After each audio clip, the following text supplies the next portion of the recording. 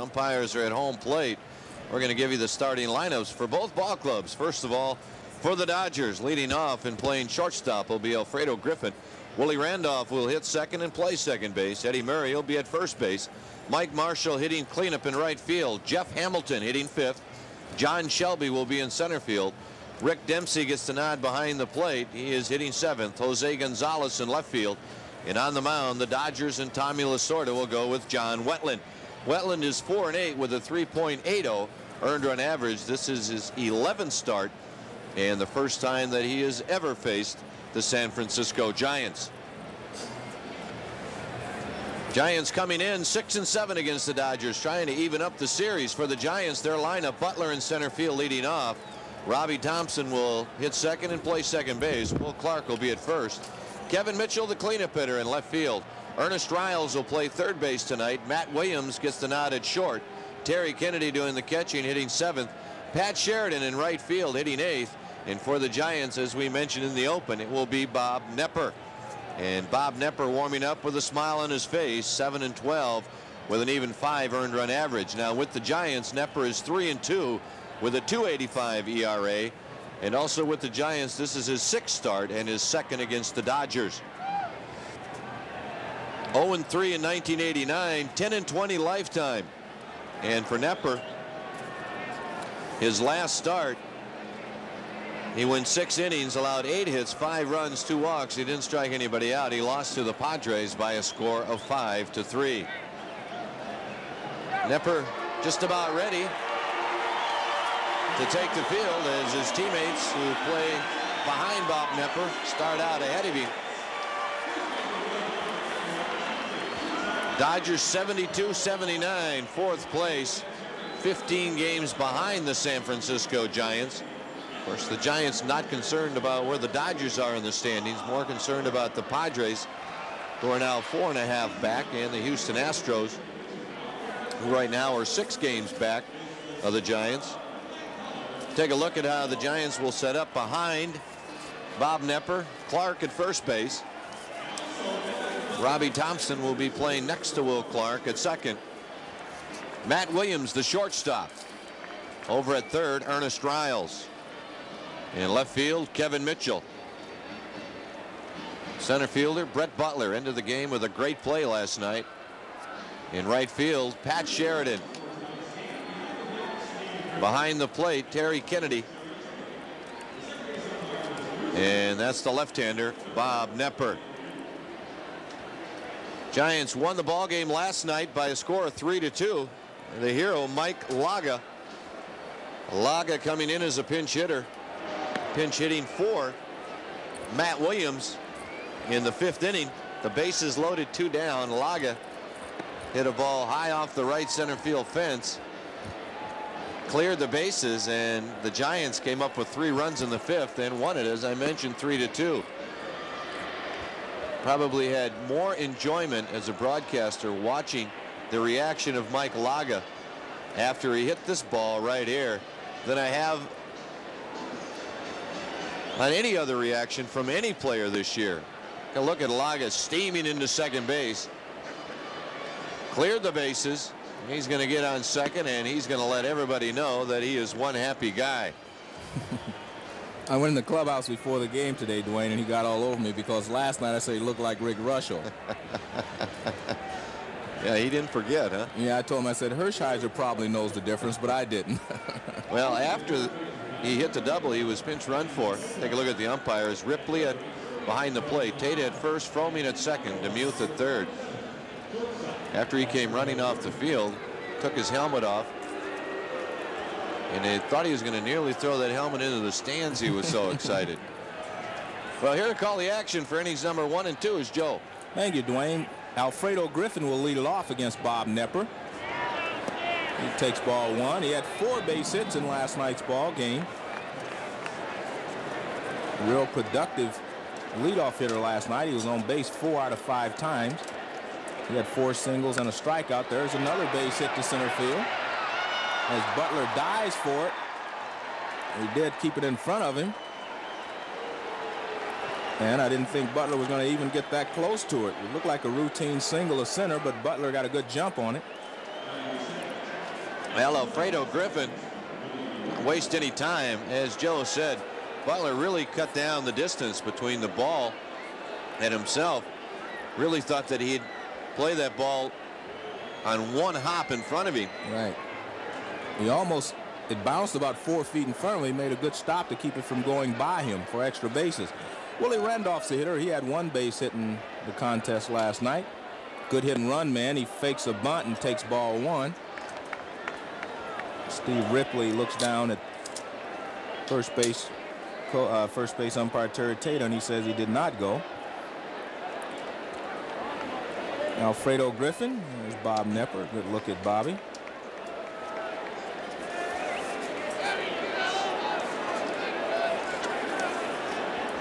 There he goes. There's a base hit to right field. Perfectly placed hit and run. Ground ball. Moving around the third is Griffin. And going to first base with a single is Randolph. Well, you mentioned it, Joe. Outstanding hit and run man. And Randolph hits a pitch that is way out of the strike zone. Pokes it into right field. Robbie Thompson covering on the attempted steal. And with him covering second, that left second base open, and that's exactly where Willie Randolph hit the ball. I was surprised, surprised that Robbie Thompson would be covering because Knepper throws the ball that tails away from the right-handed hitter, and Willie Randolph's not a pull hitter anyway. It'd be tough for him to pull the ball on Bob Knepper, so you don't give him the easy shot going to right field, but obviously they thought the pitch was going to be someplace else. Well, that's usually the case where catcher will give location, the pitcher won't throw it there. Well, Eddie Murray hits one deep to left field. Back on the warning track is Mitchell. He makes the catch, tagging up at first. And going halfway is Randolph. Coming in to score is Alfredo Griffin as a sacrifice fly by Eddie Murray. And I thought he hit it a lot better than he did, Duane. At first, I thought it might go out of here. But it just got to the warning track. Yeah, big league sacrifice fly right here. See Eddie Murray with the extension of his arms. Puts Kevin Mitchell right at the warning track. Now Willie Randolph bluff like he might try to tag up and go to second. And Eddie's kind of saying a few things because that's a home run in Baltimore. it's only 309 down the left field line. Here's the first pitch to Marshall. Breaking ball down and in for ball one. Marshall had one base hit in last night's ball game. In fact, all of the Dodger starters, except for Orel Hershiser, had at least one base hit in the ball game last night. Here you see Marshall's numbers, and we made a note of it last night that he drove in 82 runs last year. He's only driven in 42 so far this season. He was injured last year as well, but a little more often this year than last year. Well, for Marshall, Joe, his 105th game this year. Usually you like to see a guy playing at least 140 by now. Here's a pitch outside for a ball. But you can't play, Joe, if you're hurt. Well, that's true. You know, that's not a knock on Marshall if you're injured. Well, you're certainly not going to go out there. Roger Craig giving the signs to Terry Kennedy of whether he wants a pitch out in this situation or not. 2-0. Randolph's at first. Dodgers have scored one here in the top of the first. They scored two in the top of the first last night. Knepper misses inside with the breaking ball. Now the count goes to 3-0 to Marshall. There you see Roger. Um, and there you see the sign by Terry Kennedy. He's telling Knepper that Marshall will probably be swinging, so don't just lay the 3-0 pitch in there and hope he's taking. Still have to make a pretty good pitch, he's saying. Strike on the outside corner, and that is a good pitch. Kept the ball away from Marshall. Well, I don't think Marshall too upset with this pitch being called a strike. It gives him an opportunity to come back and do what a cleanup hitter is supposed to do, and that's hit the ball hard somewhere and knock Willie Randolph in from first base. Yeah, I don't think he was looking for a walk. There you see the final score. The Padres three and the Reds one. It was 10 innings. Padres scored two in the top of the 10th, and there you see the Braves and the Astros going into extra innings.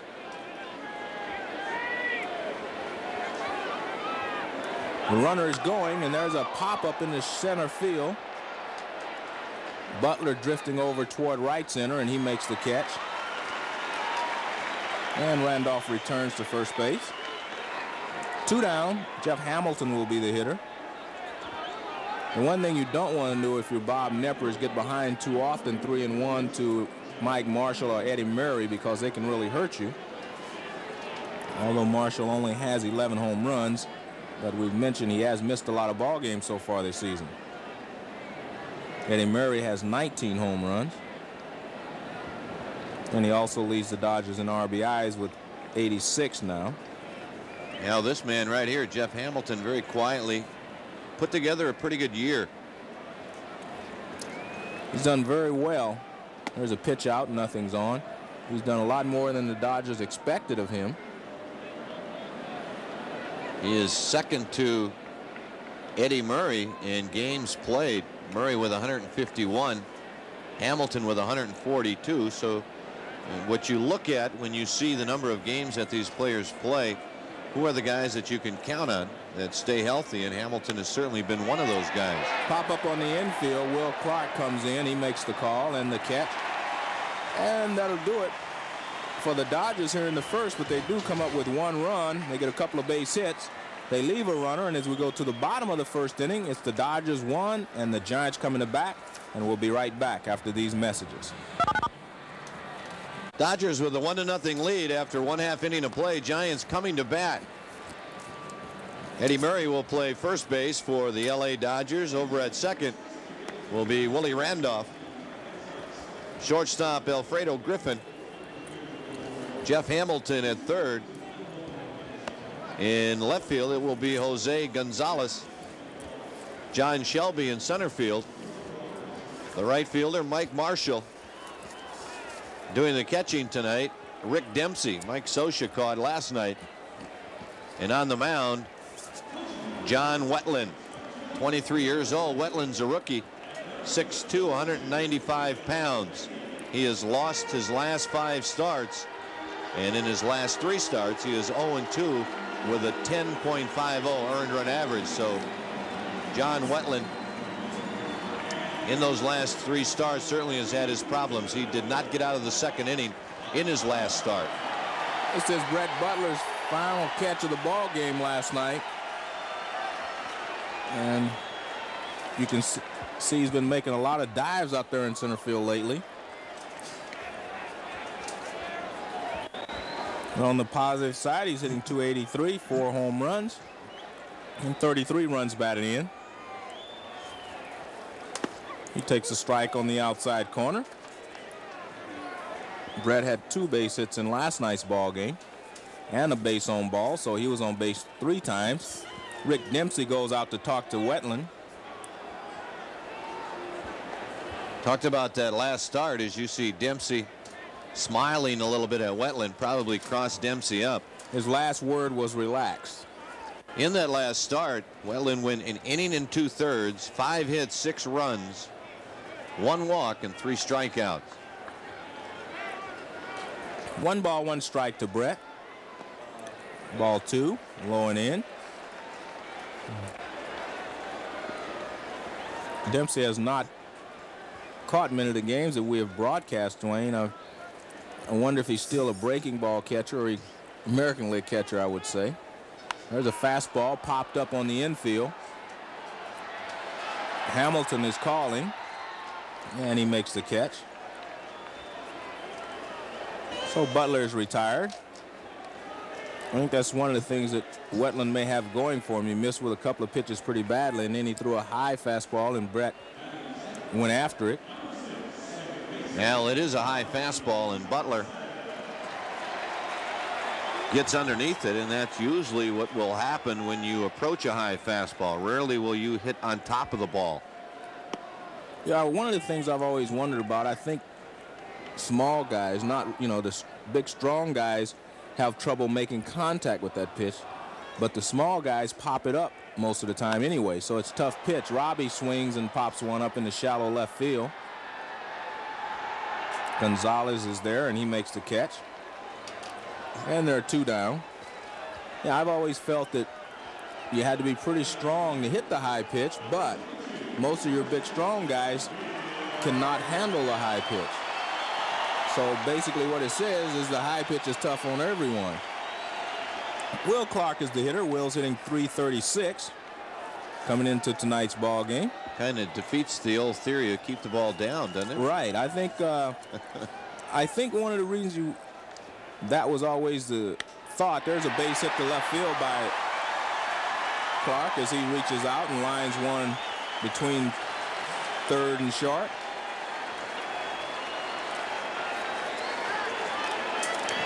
Now, pretty good piece of hitting by Clark. Fastball down.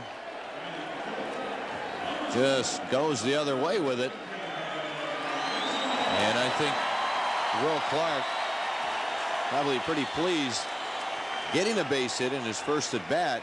Sometimes that will relax a player and you can go on to have a pretty good day.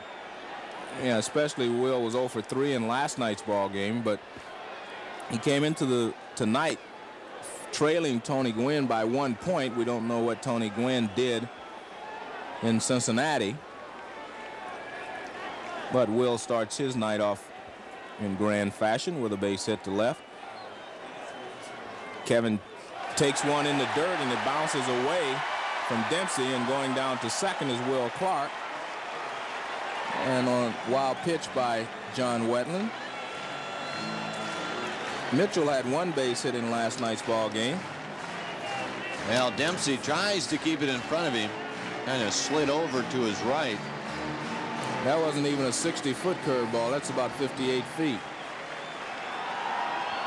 Try to get your body in front of it and then hope that you get a good bounce and ricochet. So the Giants have the tying run at second base with two down. Mitchell takes a breaking ball for a strike. I would say that's an American League call, but it's happening every place now. I see more and more pitchers when they're behind in the count going to this breaking ball or a changeup, something off speed. Well, especially to guys like Mitchell. Right. Two and one. High fastball. Mitchell cannot check on. He tries to check his swing, but he went too far. And it's two balls and two strikes. All right now for Kevin Mitchell and all the Giants in the starting lineup. First opportunity they've had to see John Wetteland, And it's a process of just trying to feel him out, see what he's got. How good is that fastball? 2-2 pitch. Breaking ball again about 58 feet, and this time it is blocked by Dempsey. You know, Joe, you and I have talked about it before. You can you can hear it from other players who have faced Wetteland, perhaps in the minor leagues, or you can see a scouting report, and it can be helpful, but the biggest help is getting in there, seeing what kind of fastball it really is. Is it straight? Does it move a little? Does it uh, jump on top of you? Does he tail a little bit? And that's what the Giants hitters are looking for in their first at bat. I think right here, if I'm Mitchell, I look for a fastball, even though he has a breaking ball, because he can't get it over. And he doesn't there. So it's ball four. I think in that situation where he's bounced two curveballs, it's hard for me not to look for anything but a fastball. If he throws a curveball, he's probably going to throw it in the dirt or miss with it anyway. And so he draws a base on ball, and that brings up Ernest Riles, who's playing tonight at third base. Matt Williams has moved over to short, and Jose Uribe has been given a night off. Two down. Ball one outside.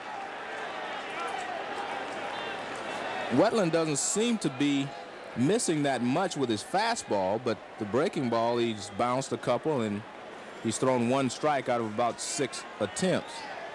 So I think that's where I block out the breaking ball in my mind.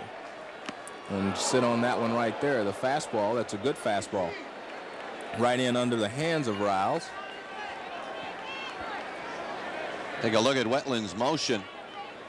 Comes at you with that front leg. Pretty nice, easy, fluid motion. A good spot for that one. One and one. Fastball fouled off to the left side now to play. And it's one and two. Well, Wetteland was selected by the Dodgers in the January draft of 85. And then the Tigers liked him so much that they drafted him off of the Dodgers roster in December of 87 in the Major League Draft. Dodgers reacquired him in, on March 29th of 1988. Low, and it almost gets away from Dempsey. So Dempsey's getting a workout here in the bottom of the first inning. But now Dempsey's had a workout already. You can see how that breaking ball will bite back towards the catcher. So far, the only thing you have to do as a Giant is look for the fastball and don't chase the curveball because he has not been able to get it over the plate. Two balls, two strikes. High fastball and Riles swings and fouls it back. That one's tough to hit. I'm sure that Riles doing exactly what you're talking about. Sitting on that fastball, getting it, and you have to be sitting on it to foul that ball off. I agree.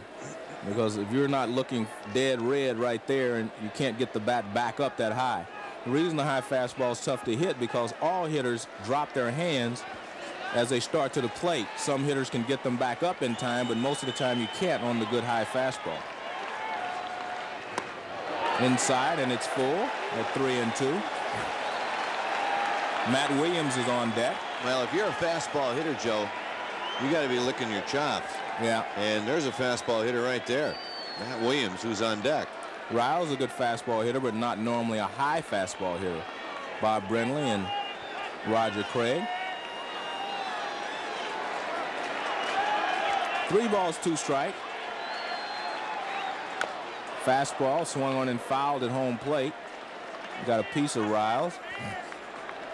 And again, Wetteland has to go with the fastball because he doesn't have control of his breaking ball as of yet. Well, Wetteland, born in San Mateo, graduated from Cardinal Newman High School in Santa Rosa, California. His dad, or his dad, Ed, well-known pianist in San Francisco, also a former player in the Cubs organization. So pitching runs in the family. Here's the 3-2 pitch. High fastball, chopped foul at home plate again. There you see Will Clark as he returns to second base and Mitchell back to first. They're getting their wind sprints in. Yeah, the only thing that I watched Clark running back and forth, and even though it's just a, a minor detail, shortstops hate this because you see that second base or that man on second taking its lead they dig up their position. Yeah. And you start running back and forth, and you leave some divots out there at that shortstop position. 3-2 pitch grounded to first base. Eddie Murray will take the play unassisted. And that'll do it for the Giants here. They come up with one base hit. They leave a couple of runners. And after one full inning, it's the Dodgers one and the Giants nothing. There you see the score as we go to the second inning, one to nothing Dodgers. This copyrighted telecast is presented by the authority of the San Francisco Giants and is intended solely for the private, non-commercial use of our audience. Any publication, reproductions, retransmission, or other use of the picture, descriptions, and account of this game without the express written consent of the San Francisco Giants is prohibited. And as we go to the second inning, Bob Knepper starts his second inning of work. And he will face John Shelby, Rick Dempsey, and Jose Gonzalez as the Dodgers lead one to nothing. One run on two hits for the Dodgers. Will Clark has the only base hit for the Giants. And Shelby, a switch hitter, will turn around and start his evening on the right side. He takes a strike on the outside corner. Shelby has really struggled this year. His batting average is 181, well below the Mendoza line. And he has one home run and 11 runs batted in. He had over 20 home runs a couple of years ago with the Dodgers. Fastball hit up the gap in the left center field. That's extra bases. Kevin will cut it off, but Shelby goes into second base standing with a double. I think that right there shows you how good a play Candy Maldonado made last night to throw Eddie Murray out, which helped preserve the Giants' one-run victory. You've got to throw the ball a long way, and you have to throw it accurately. Well, in this play, Shelby just puts it right in the middle of Butler and Mitchell. Now Mitchell comes up with it. Now had he made a perfect throw, we may have seen some action at second base. Throw is off line, so Shelby easily in with a double. And you could see Joey Amalfitano as he came down to talk to Rick Dempsey.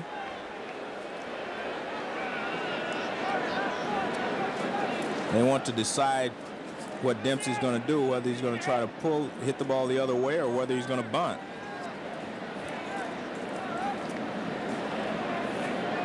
And he's going to try to go the other way, it looks like, on the first pitch. Here's the play you're talking about, Joe. Last night, Eddie Murray trying to stretch a single into a double. And just a perfect throw by Candy. And if you get the guy at second base, you never know what might happen. He might score the tying run. At that time, the Giants were leading by a run. Breaking ball down and in, and it's ball two to Dempsey. You know, I think the ball that Shelby hit a lot like the ball that Murray hit last night. Perfect throw, and you may have a shot at getting him. Right. But you're asking an awful lot out of that outfielder to make a perfect throw every time. And that's why I felt last night Murray's play was a good play on his part, and today it's a good play on Shelby's part. That outfielder can't hit that bag from, you know, 200 feet very often. 3 and 0 to Dempsey. He takes a strike on the outside corner, and it's 3 and 1. Jose Gonzalez is on deck. There you see Gonzalez.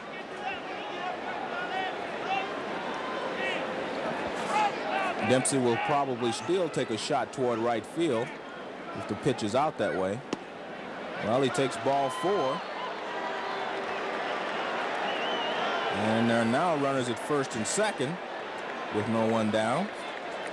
And there you see, well, Lasorda is talking to Gonzalez before he goes to the plate. Lasorda came out of the dugout and said something to the youngster.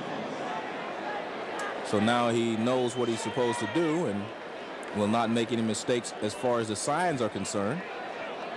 Well, the question will Lasorda bunt Gonzalez move those runners along and then you got the pitcher spot coming up next. Really think that he is going to let Gonzalez swing away. I agree with you. I don't think you bunt guys over for the pitcher too often. And there you see McCament as he starts to throw in the Giants bullpen. Dodgers have runners at first and second. No one down. They lead one to nothing. We're in the second inning. Fastball grounded. Robbie was breaking the other way, and the ball goes in the right field for a base hit. Moving around to third is Dempsey. And the Dodgers lead by a score of two to nothing. I don't know if Robbie had a play on or what.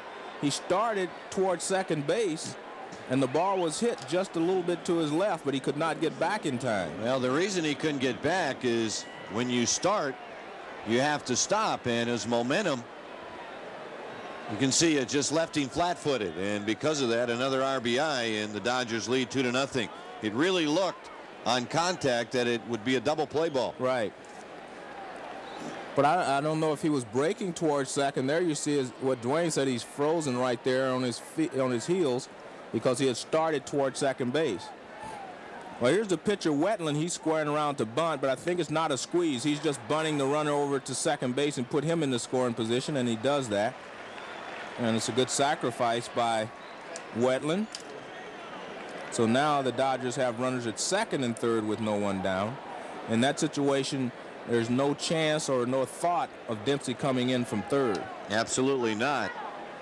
Knepper will just wheel and throw to Robbie Thompson Covery. And that's the first out of the inning. So now they have runners at second and third with one out. And the Giants are going to play the infield in. I'm sure Robbie will come all the way in. The rest of the infield is already in.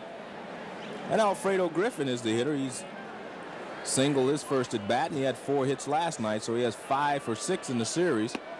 There's a fastball up for ball one. the Giants are playing the infield in, but I would have to think that if a ball is hit back to the pitcher, they would not have to make a play at the plate. Any place else, the Dodgers may be sending Dempsey. There's a fly ball in the center field. It's going to be deep enough for Dempsey to tag up and score. And also Gonzalez tags up and goes over to third. So Dempsey comes in to score on the sacrifice fly. And the Dodgers lead by a score of three to nothing. Yeah, they're just pecking away at the Giants right now.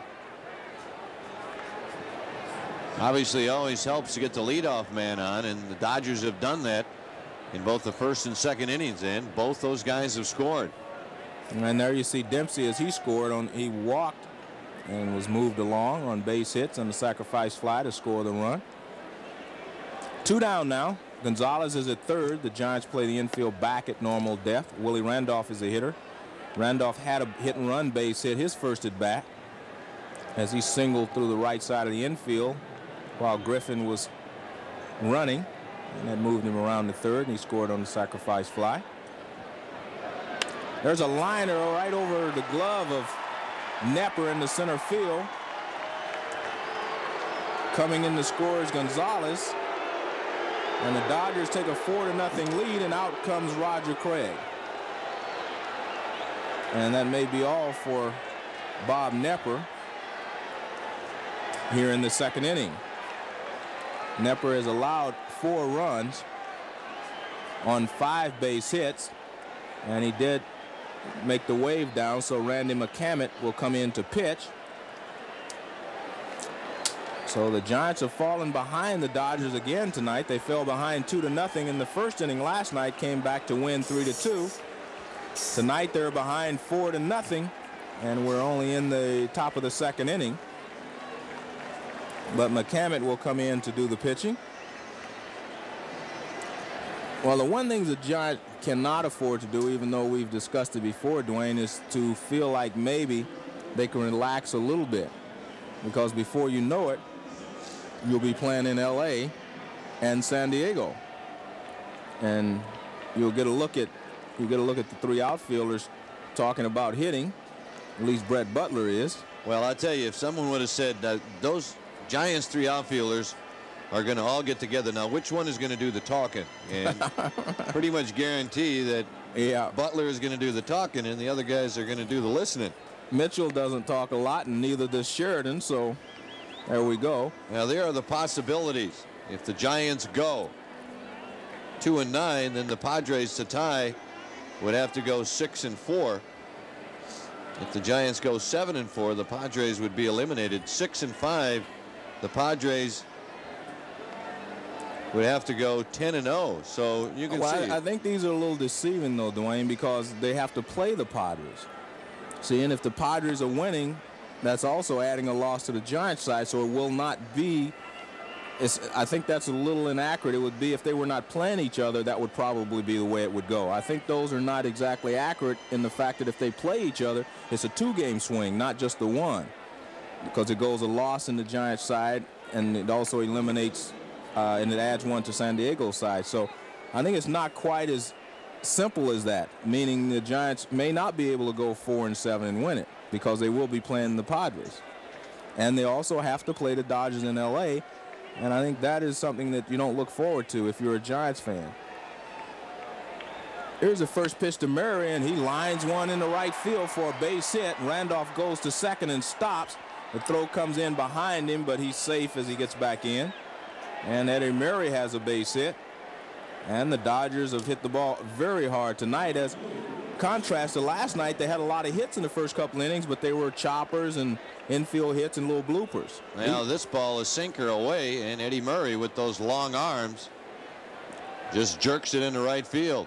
And they've hit some balls hard tonight as I say contrasting that to last night's choppers and little you know soft line drives over the infield. Mike Marshall is the hitter. He takes a swing at a breaking ball, and it's strike one. Marshall hit a fly ball to center field his first time up. Well, you hate to be down this early, but you have to remember the key word is early. Yeah, and you have the Giants still have eight chances to make up the four runs. And those chances being innings, not at bats. Right. So I guess the way you look at it, they have 24 outs left. There you see Trevor Wilson on the right. And that's Stu Tate on the left. Here's a pitch to Marshall, grounded to shortstop. Matt Williams charges. He will have to go to first base, and he does. And he retires Marshall. But not before the Dodgers come up with three runs. They also get three base hits in the inning. And after two and a half, one and a half, it's the Dodgers four and the Giants nothing. Well, the Giants have a little bigger hill to climb tonight. They have a four-run deficit as we start the second inning, but on the positive side, they don't have Orel Hershiser that they have to score the four off of. And as Duane mentioned, Wetteland has not done too well in his last few outings, but you can't ever count on that. Matt Williams takes low for a ball, and I think one of the things the Giants have to do with a guy like Wetteland when you're down four runs is to be patient. Yeah, because a four to nothing lead can make this young man a better pitcher. Exactly. If he has any jitters, a lot of times you look at the scoreboard, you got a four run lead and you can relax a little bit. But he is not able to control his off-speed pitches or his breaking ball. So you just have to be patient. Don't swing at the fastball out of the strike zone, but make him give you one that you can handle. And forget about the breaking ball. I would forget about it because he's not able to throw it over the plate. Here's a two and one pitch. He threw it over the plate then. I would have still taken that. Well, you can see how the Dodgers obviously love this guy. He fits the mold of, of the types of pitchers that they look for. Young, good arm, good build, strong legs, and he throws hard. And they can teach him the other things. Well, see, that's what happens. You chase the breaking ball because he's not throwing it for a strike. You end up chasing one. And Matt goes down on strikes. Well, Matt's going through one of those spells that he went through prior to his trip to Phoenix. And pretty simple, and I'm sure Matt Williams realizes it. He's just chasing breaking balls that are out of the strike zone. Well, he was hitting the ones in the strike zone when he first came back, and he's proved to himself and to most other people that he could handle it. But if you don't get a strike, you're going to have problems with it. There's Terry Kennedy chasing a fastball, and not catching up to it. You know, watch Wetteland. He almost jumps at you when he releases the ball. He actually leaves his feet. Now, of course, he didn't do it that time. but it almost looks like he recoils after he throws the ball. One strike to Kennedy, one down. We're in the bottom of the second inning. Fastball foul down the left field line and out of play and the Giants are trailing by a score of four to nothing.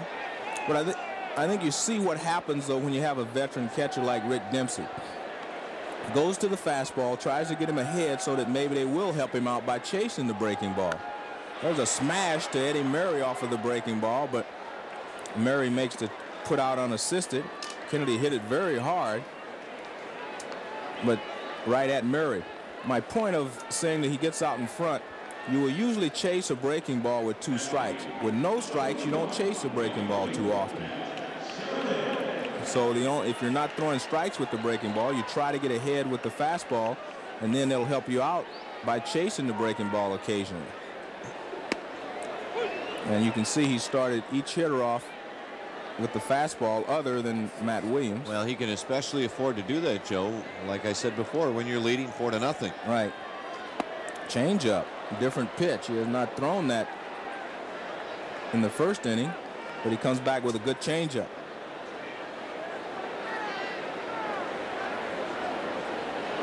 Changeup again popped up as Sheridan just reached for it with one arm, one hand, and no one can get to it. So the counts no balls and two strikes.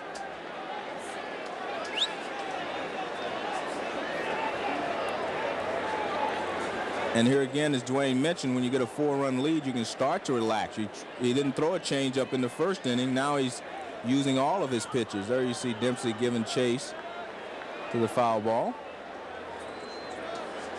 Well, in some cases, Joe, relaxing is not good, but I think in a rookie's case, it is.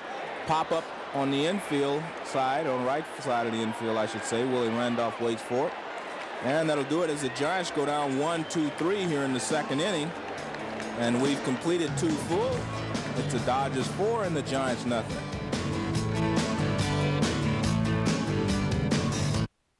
And as we go to the third inning, we have a guest in our booth, and we also have Duane Kuiper to do the play-by-play. -play. Duane? Now the guest, Joan Ryan, and McCament facing Jeff Hamilton. Joan Ryan, columnist for the San Francisco Examiner. Welcome, Joan. Thanks, Duane. Certainly hasn't been the first time you've been here, but it always is enjoyable when you do decide uh, that you'd like to sit in with us. Bet you say that to all the girls. Matt Williams to Clark. Hamilton retired, one out. Joan, I just found out that you were married to a friend of mine, Barry Tompkins. I didn't know that's who you were married to. If I'd have known that, I wouldn't have given you such a hard time over the years because I would have known you're a pretty smart person. That's right. Now you know why I'm so happy. Yeah, I would have known you're a pretty smart person choosing somebody like Barry. I really, I didn't know that until I read this little See, bio that they gave us. Yeah. Here's John Shelby with one out. Shelby doubled and scored to lead off the second inning. McCament on the mound replacing Bob Knepper. And Shelby tries to lay one down and it's a strike 0-1. Joan's been covering a lot of different areas for the examiner. Football, baseball, basketball.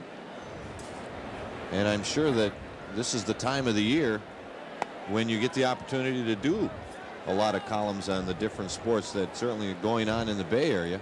Yeah, it's definitely, this is the most fun time of the year, especially when we have two teams that are contending in an independent race and with the 49ers coming off a Super Bowl. Um, you know, there couldn't be a better time for a sports writer. What is your favorite sport to cover, or should I do it two ways? What is your favorite sport? Baseball is definitely my favorite sport. All right, what is your favorite sport dealing with the players or the athletes? Still baseball, but I think that's because uh, we're a little spoiled here in the Bay Area. We have two very good teams with good front offices, and they're real easy to deal with. I don't know if you'd find the same answer if I lived in another city. Right. But, um, you know, being a Bay Area sports writer, definitely baseball. Well, that's why I asked the question. Some of the places I've gone, I've heard different stories. Some mm -hmm. guys like baseball more, but they love covering the athletes for football or vice versa. Full count to John Shelby. And Shelby goes the other way and drives the ball between Riles and Matt Williams. Shelby now two for two, a double and a single. And the single comes with one out here in the third inning. It's hard to think a guy is at 170 coming into this series and he's hitting line drives every play. Well, especially Joe with the stroke. Yeah. Really is a good stroke. Anytime you see a player go the opposite way on a pitch that is high and outside. And it looked like it was maybe even a changeup, Duane, something off speed, and he still went the other way with it. Here's Rick Dempsey, Shelby the base runner. Shelby has eight stolen bases on the year. He's been caught six times. Dempsey walked and scored in the second inning. That's the inning. The Dodgers put three runs on the scoreboard. 4 nothing. Dodgers leading. Pitch misses to Dempsey. One ball and no strikes. So one of the columns that you wrote, Joan, a baseball column about the return of Bob Brenly. And really was a magical moment when Brenly came in, started national TV, came up with a double. That's right. Yeah, I tell Bob that uh, whenever he does anything in a, in a, game and I have an opportunity to write about him, it's like getting a day off. You know, I just hand him my notebook and he fills it up. He's wonderful. Certainly an easy guy to interview and very quotable. Absolutely. Shelby goes and Kennedy cannot get the ball out of his glove. Stolen base number nine for John Shelby. We had a shot of Bob earlier, Duane, and I wanted to mention at that time he was standing there with Roger Craig kind of surveying the field. I was just wondering, did you ask Bob about his aspirations of being a manager? I think he would make a good manager. I think so too. He, he's he's mentioned though before. I don't know if, if uh, he's mentioned this to you that that he might be a little tired of the travel after he's done playing. The feeling. Yeah, I know. one and one to Dempsey, and that's high and tight in my conversations with with Bob Brenly, he basically has said he really has no interest whatsoever in staying in the game. Now that doesn't mean that three or four years after you're out right. of it, you don't get the taste back. Trouble is, it's hard to get back once yeah, you it leave is. You usually, usually get back when a friend becomes a manager Right. or becomes a part of a front office somewhere. I really have always felt that Brenly would be a great guy to be in the in the business that we're in, in the broadcasting part of it. He'd be terrific. I mean, I could see him as another Tim McCarver. I think he has the same sort of sense of humor. He remembers every anecdote he's ever heard. He has mentioned, though, coaching on the high school level, that that would be something he'd be interested in. Well, travel certainly a lot less at that level. Yeah, the money's not as good, though. Three balls and one strike. McCament falling behind to Rick Dempsey. Jose Gonzalez is on deck. And Dempsey chops this one foul. Now it's a full count. Shelby continues to try to time McCament at second base. Maybe wants to run on the pitch, but he he's trying to time him, and he hasn't been able to do so as of yet because he starts and McCament's not going, and then when he stops, McCament delivers. So McCament is doing a good job of varying his delivery to the plate. Three balls and two strikes. McCament to Dempsey, and Dempsey draws a walk. Dodger base runners at first and second with one out, and that will bring up Jose Gonzalez. Joan, one of the things that I believe in, and I've talked to Duane about this on several occasions, is that a manager in the 90s has to be different than the managers in the past. I consider guys like Cito Gaston, um, Tony La Russa, I think, is a man for any time. But I think, meaning that they're going to have younger managers that can deal with the players a little better, can understand the players, and maybe have a little better relationship with the players other than say, do this, do that, and whatever. Because the players of the 90s don't have to do that anymore because of their contract situations and all the money that they make and the guaranteed contracts. And I think it takes a special manager to be able to be both disciplinarian, friend, and also say we're in this together type of manager. And I think the young guys are the ones that are going to have to do that. The Art Howells, I should mention, and Cito Gaston are two guys that come to mind for me. Do you think that it's going to take a different manager or the players are going to have to adjust?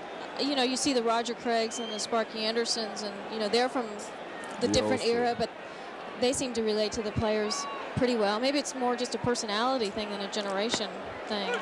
Well, I personally, you know, just my opinion, I think it's a generation thing because the values or certain things that you're taught, like Roger Craig when he came into the game, even Sparky Anderson or myself, are really not obsolete, but they're just not as prevalent today as they were before. About the things you think about the team first and yourself second. That's not always the case, and I don't blame the players because there's so much money at stake now. Whereas in the past, you know, that was the only way to get a raise. But I'm not sure that the manager shouldn't still stress all those values. Well, Matt Williams keeps it on the infield. That'll keep Shelby from scoring. It'll be an infield hit. And now the bases are loaded for John Wetteland. I think that's one of the things that's Gaston and Howe does well with the young players, though. He's able to stress it and they listen, so to speak. Here's, here's the swing by Gonzalez, and it goes in the hole. Nice play by Matt Williams to save a run. If the ball goes through, Shelby would have been able to score. But as is, the Dodgers have the bases loaded with one down.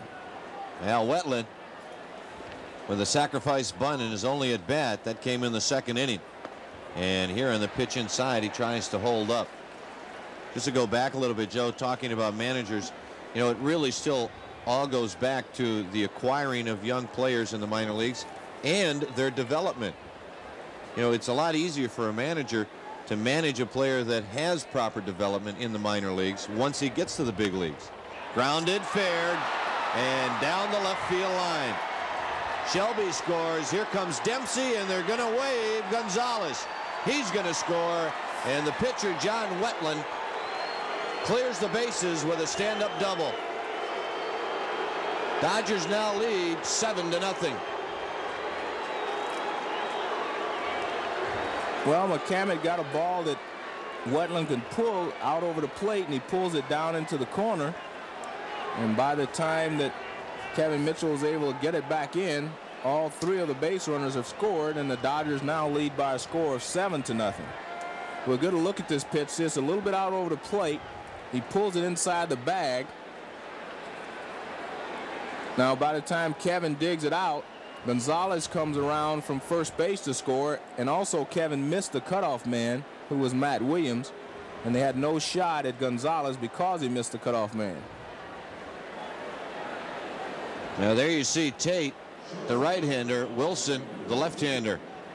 And Marty DeMerritt down in the Giants bullpen, subbing for Norm Sherry, who has a pinched nerve, letting Roger Craig know that both pitchers are ready. And with that, Roger Craig is going to come out and make the pitching change. He's also going to make a double switch, Duane, because he went to the umpire first. So someone else is coming out of the game, and it's the right fielder, Sheridan. And Jim Weaver is going to go in to replace Sheridan. Since Knepper, well, um, McCament was scheduled to lead off the bottom of the third inning. So now Jim Weaver will lead it off.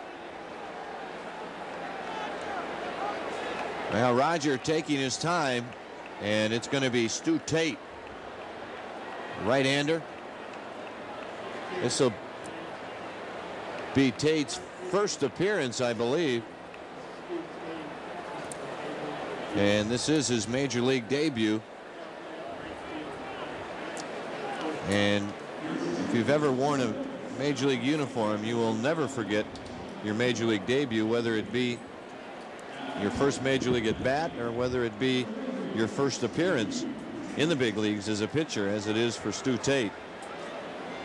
Tate in conversation with Terry Kennedy going over the signs. Giants trailing seven to nothing. We are in the third inning. Take a look at Giants managers with four straight winning seasons. McGraw, Terry, Durocher, Alvin Dark, Herman Franks, and the hum baby, Roger Craig. Joan, what do you like least about your job? Let's go in the opposite direction here. Well, sometimes the travel. Mm -hmm. um, now that I'm married, you know, I like to stay home a little bit more. Well, he's gone too, He's though. gone all the time too. I know. We pass in the red carpet room at the SFO, basically. Um, I would say that, and, and, coming up with ideas is very difficult for me.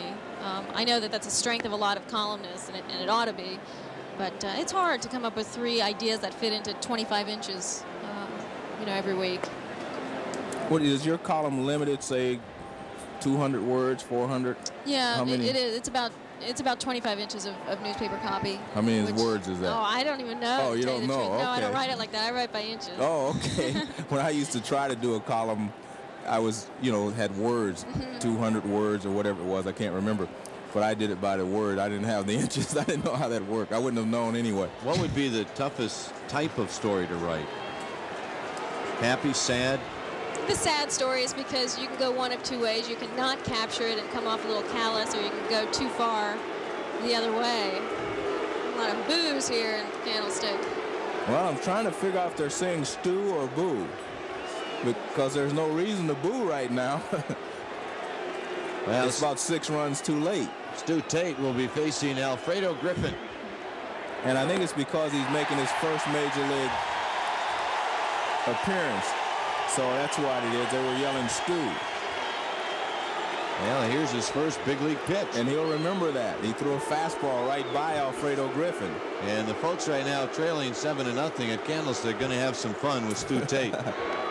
And that's in the dirt. And I mean fun in a good way. Well, I'm sure that that makes Stu feel good, especially coming in in a situation against the Dodgers. Stu, 40 years from now, will say, you know, to his grandkids, 50,000 people were in unison going, Stu. Fastball down. But it's a little low, but it's a good one. Two balls and one strike Alfredo Griffin. John Wetteland, the base runner at second base, one out.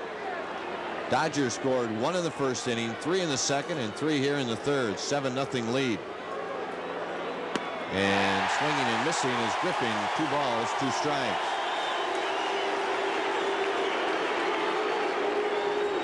Take a look at his motion, Joe. Well, it looks like he's a power pitcher. Power pitchers usually fall off to the first base side, and he does that in his delivery. And Griffin stays alive, fouls it back. He also has an interesting position on the mound. He stands to the extreme right corner, the third base side of the mound. And he falls off to the first base side, which says to me that he likes to get a little crossfire on the right-handed hitters. You can see he's on the extreme right corner of the rubber. Here's the 2-2 to Griffin. And he did barely get a piece of it. Folks there at Candlestick thought he struck him out. And that's what they're waiting for. Well, Stu seems to be very calm on the mound. I have to give him credit for that. He doesn't seem overly excited about this appearance. And my first at bat, I was shaking all over. two balls, two strikes. And he got him. Tate strikes out Griffin for the second out. And he gets a standing ovation here at Candlestick Park. They were waiting for something to cheer about. well, for Stu Tate and his family, nothing could make them happier. It's great. Well, it's a good tailing fastball. It tails away, but it has a lot of get up and go on it, and Griffin was a little late. Here's Willie Randolph. Randolph with a pair of hits and two at bats. And Tate loses this one in the dirt. And Wetteland is rounding third, and he's going to hustle back as Kennedy chases it down. Wild pitch. Allowing Wetteland to go to third. Well, you can see it's a breaking ball in the dirt. Kennedy tries to get over in front of it, but when the ball hit, it really spun back to his left. And it just got a piece of him instead of hitting him in the chest and bounded away. One ball and no strikes to Willie Randolph. Randolph last night one for five.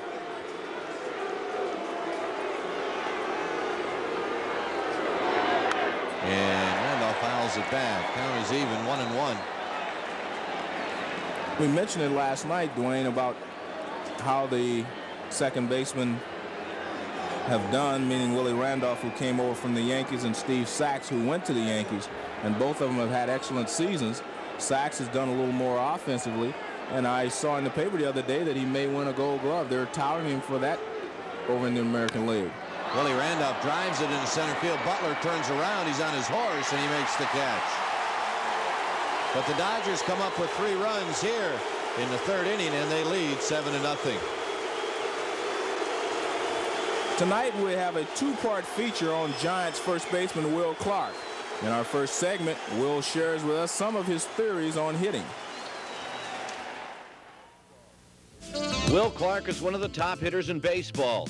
His success at home plate begins with his mechanics. All hitters have certain basic fundamentals that they go through.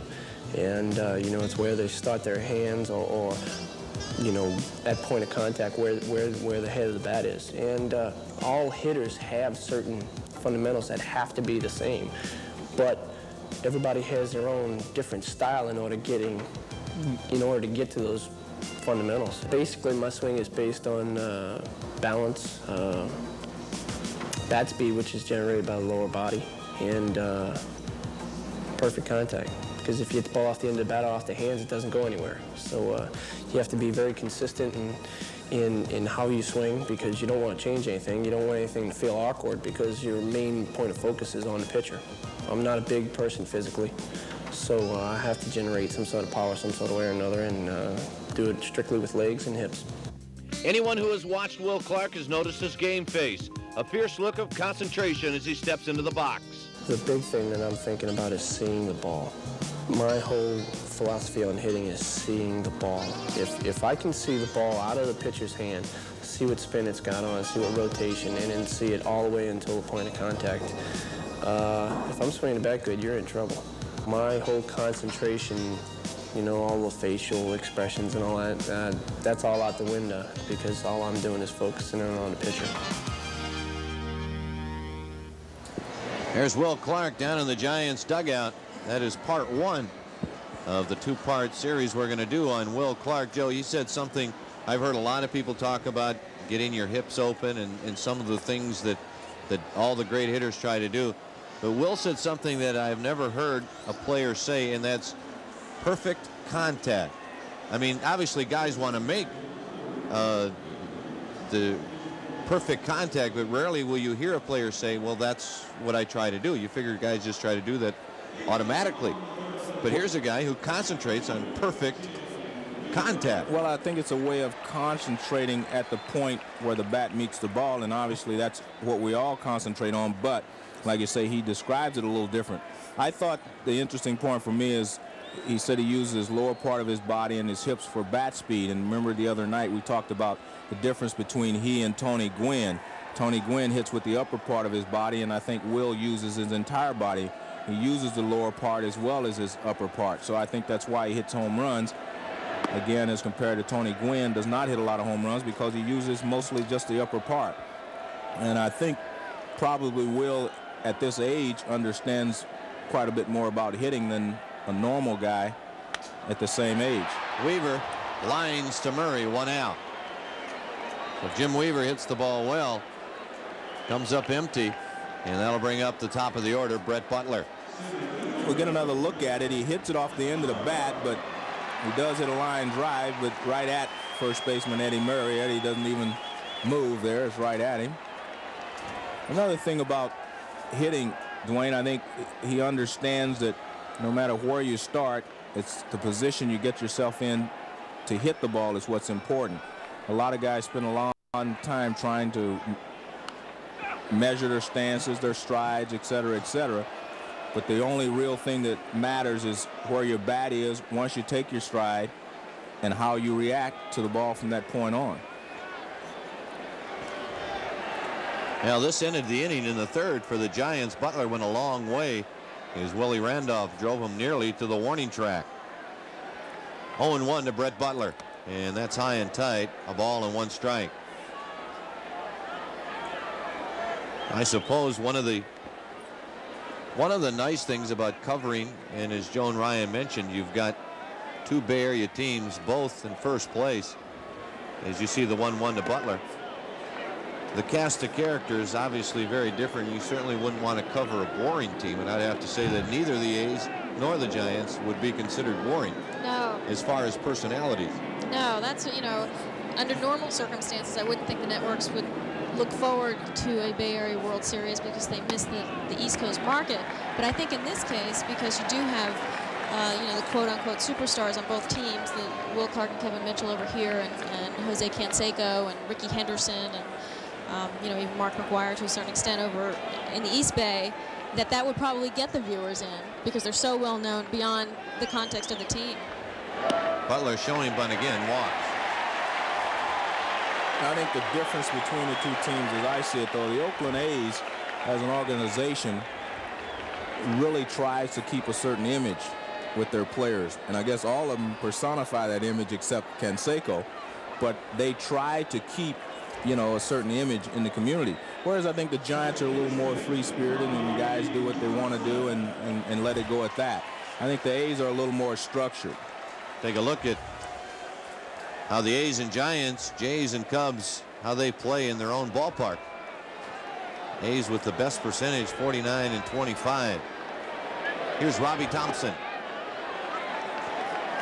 I think that starts with the manager, don't you? I think that Tony sets the tone over there and that Roger sets the tone over here. Well, I agree to a certain extent, but it still goes back to the teams because the guys that hired the managers had an image of what they wanted mm -hmm. that manager to be or the image that they wanted that team to be.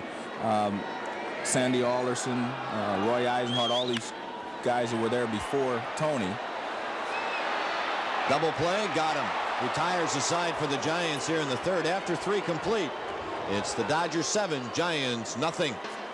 Well, it's time for the Isuzu Stumper. The first person to call in with the correct answer wins two free tickets to a Giants home game in 1990. The toll-free number, 1-800-722-4600. And tonight, stumper, who was the last major leaguer to win a batting title and lead his league in RBIs in the same season. We'll be right back after these messages. Well, we played three here at Candlestick, and you can see the numbers. They are not very pretty. Dodgers with a run in the first, three in the second, three in the third. And because of that, the Giants have their third pitcher on the mound, and his name is Stu Tate affectionately known as Stu Tate to the fans here at Candlestick. Folks here are not about to leave. And we certainly do have some die-hard fans in the Bay Area. Remember the years the Giants lost 100 games, you'd wonder why there was anybody at the ballpark, and believe it or not, the usual diehards showed up every day and every night. You know, you mentioned Duane, it has been a hard three innings for the Giants. Something seems to be bothering Eddie Murray out there in center field. Well, I guess maybe he wanted Bruce to move. Yeah, Bruce is deeper in center field than normal. So Bruce moved a step and a half. you know, we were talking about the teams again. The reason I bring that up, Joan, is because I played for the Cincinnati Reds and they didn't want any mustaches, no long hair. Your stirrups and your socks had to be down low. And Sparky Anderson was the manager, so everyone thought that was Sparky's idea, but it really wasn't. It was the ownership of the team because if you look at Sparky now in Detroit, he doesn't have the same types of rules or whatever. So I, I think most of the time the image is really set by the owner or the top echelon in the organization. And they hire a manager that will, you know, take those things on through to the players. Murray pops out to Butler in center field. That's the first out here in the fourth inning. I happen to agree with you. I, I really think Tony La a fantastic manager personally. And I've watched the way he's handled Canseco. I've watched the way he's handled the other players. And I think he just does a fantastic job. Murray chases a high fastball, and you see he's very upset. I mean, that's a high fastball, and he throws throws his bat into the ground. Here's Mike Marshall. And Marshall now steps out, and they're complaining about something. Oh, uh, now the umpire says turn off the scoreboard. See the white on the Dodger, on the Giants vision. That's the problem. Jumbotron, I'm sorry. got Giants vision on the brain. But it's a white background, as you can see. The Dodger sign is in white. with Dodgers in blue over it right there. It doesn't look as white on your television screen as it is. Actually, it just seems like a big light if you're in the batter's box. But it affects the left-handed hitter more than it does the right-handed hitter. 0-2 to Mike Marshall.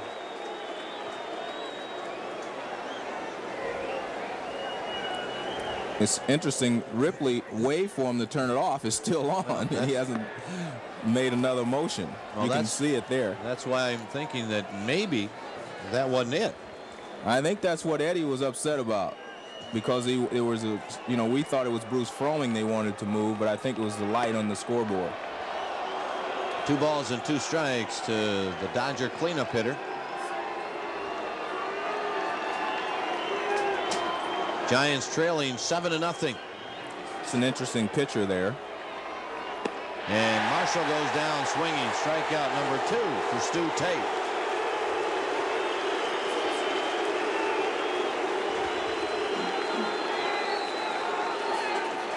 We're going to look, and as I mentioned, I think he's a power pitcher, and I think you can see right there that he really is. I think his fastball is his best pitch, and he had some giddy up even down low. I said it was a good picture before. We showed Rick Dempsey sitting next to rookie John Wetteland and talking to him in between innings, trying to keep him relaxed and let him know exactly what he wants him to do when he goes back on the mound. A lot of times you do not see pitcher and catcher sit together on the bench. In the dirt to Hamilton. One ball and no strike. Tate, 27 years old. 6'3", 205. He was the number eight selection in June of the 1984 draft. And there's the high fastball. And yes, sir, Terry Tata said he went around. One ball and one strike. And this is his wedding anniversary, I see here. Hmm. Boy, what a big day for this guy. Hmm. John, question here. Do you ever go to a game and sit out Never. in the stands? Never. So you only get the game from the press box perspective, which is not really a you know a real good perspective in most cases. It's okay for what you do, writing a story, but about there you see the Astros have taken a seven to six lead in the 14th inning against the Braves. This is the Weaver in right field, and he will make the catch. Three up, three down here in the fourth after three and a half. Dodgers leading the Giants 7 to nothing.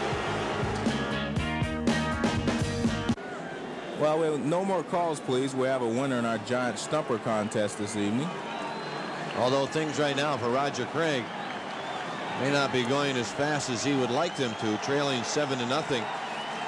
Also realizing that the Padres have won in Cincinnati and the Astros have taken the lead in extra innings over Atlanta. There you see the update. Tony Gwynn went one for four in that Cincinnati San Diego ball game. So right now Gwynn still leading Clark by the slimmest of margins. Well, I think it'll be interesting because the last three games of the season, these two will square off again in San Diego. Clark fouls it at home plate. Will Clark single in the first inning is the only Giants base hit. You look at the line score, it looks a little strange. 7-9 and 0 for the Dodgers, 0-1 and 0 for the Giants. For a team that has not hit well all season, the Dodgers have come in here the last two days and put a lot of hits on the board. Here's the 0-1 to Clark, and he swings and misses 0-2. See Will losing his balance after he swung through the pitch. And he went after the high heater. As I've said before, if Will has a weakness, it is the high fastball. But that's the weakness of a lot of hitters. And Clark fouls it out of play. The count stays the same at 0-2. But it has to be a good high fastball. You have to have good velocity on it in order to throw it up there. Kevin Mitchell on deck for the Giants, followed by Ernest Riles. Wetteland to Clark, and he took a little off, and Clark out in front grounds it to Randolph. He'll go to Murray, one out. Play will go 4-3. And Wetteland retires Clark. Clark now one for two. That'll bring up Mitchell. Mitchell walked in the first inning. Kevin last night a hit and four at bats his average at 292.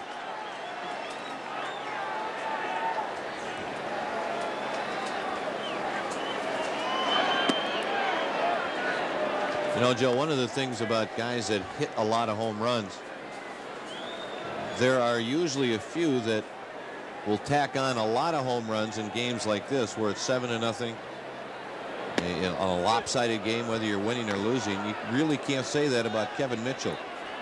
No, he, most of his have helped. His home runs have tied a lot of games and have given the Giants leads. There you see the RBI leaders in the National League. Guerrero now one over Clark in second place, and Mitchell follows this one down the right field line and out of play. I think the most consistent season I've ever seen for a power hitter was the one George Foster had, I think 1977 or 8. He had 52 home runs, drove in 150 runs or whatever, but he was very consistent. I don't think he hit over, had games where he hit two home runs or more in a game, but maybe once or twice, you know, and he just hit one today, one tomorrow. He was just very consistent because he almost, he had 198 hits also, I believe. So he was very consistent. And looking at Kevin Mitchell, he's done basically the same thing. He has not, like you say, gotten well or added on to his statistics in games that were way out of reach. Two balls and two strikes to Mitchell. And there's a base hit to left field, hit hard. Gonzalez tracks it down, and Kevin Mitchell with a one-out single. Joan, do you vote on any of the awards? You're not. You have to have what is it, 10 years or something? I'm not sure how many, but I know I don't have it. Yeah. I think you have. I've heard you have to have 10 years. I don't know for sure either before you get a chance to vote on most valuable player, rookie of the year, Cy Young, or whatever. Do you look forward to doing that? No. Why no, not? I don't. Well, you know, I've told other people this too. You know, when they say, "Well, who do you think should get MVP? Who should win Cy Young?" I you know, Yeah, I, got enough, you- I got enough decisions in my own life to start making decisions for somebody else. Yeah, but it's going to be yours at that time. That's true. Well, maybe be your that time- vote. maybe by that time I'll want Yeah. to. Yeah, I mean, I being honest with you, I I would like to vote. I don't have obviously I'm not a sports writer or You got whatever. an opinion on everything, Joe. So I Right? But I'd like to vote. Yeah, I'd like to vote. Here's Riles, 0-1 count, and that's off the plate. One ball and one strike. I think it's especially difficult this year for any of the writers or people in the media to have to make a decision between Clark and Mitchell. And to take a stand, you'd almost feel like you're going to offend the other player. Riles down the left field line and out of play.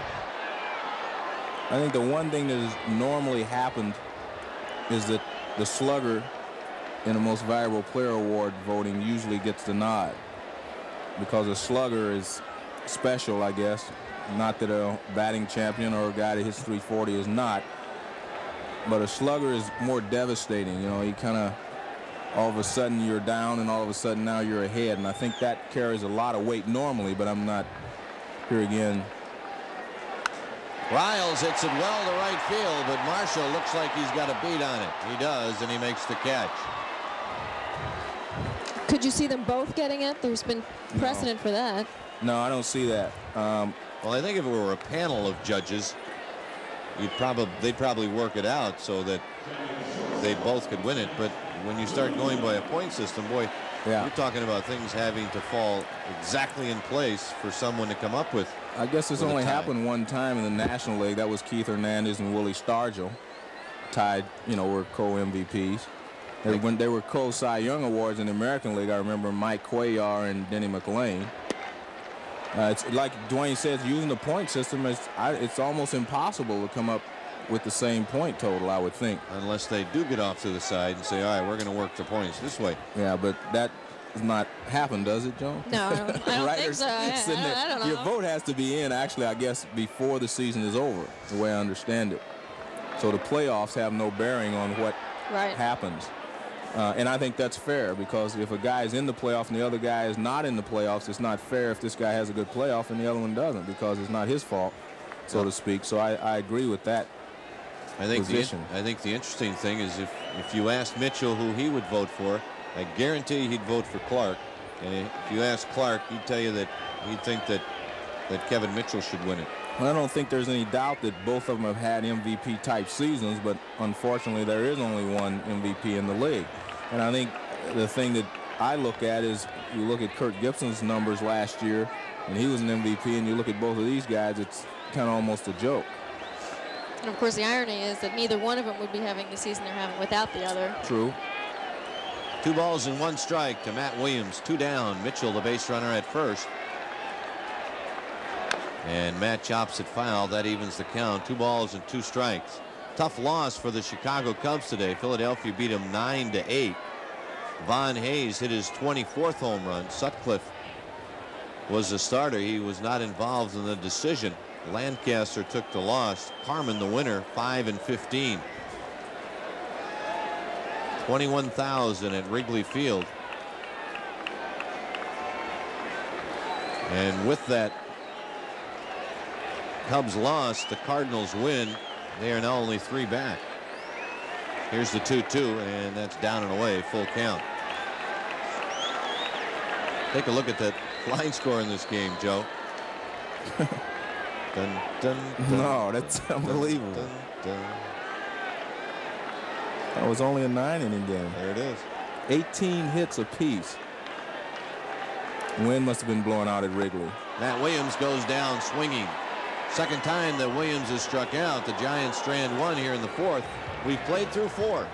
And it's the Dodgers seven, Giants nothing.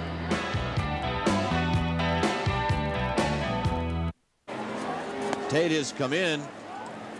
He came in with one out in the third inning. Struck out Alfredo Griffin.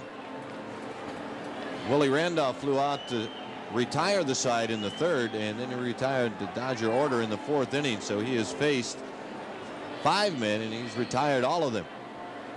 Here it will be John Shelby, Rick Dempsey, and Jose Gonzalez. Here to call the fifth is Joe Morgan.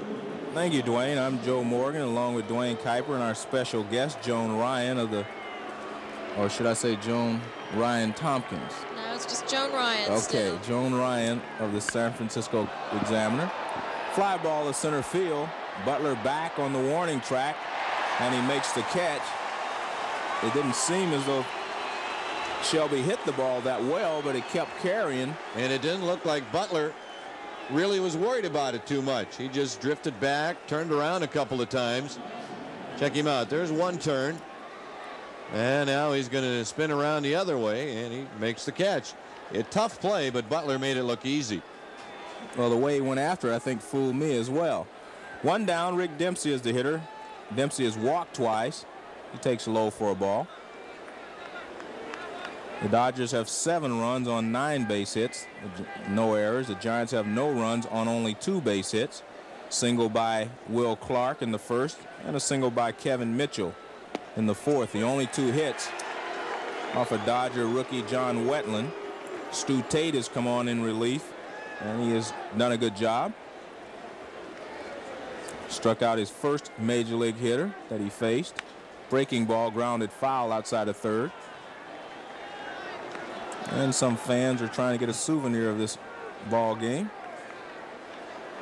There you see rookie John Wetteland.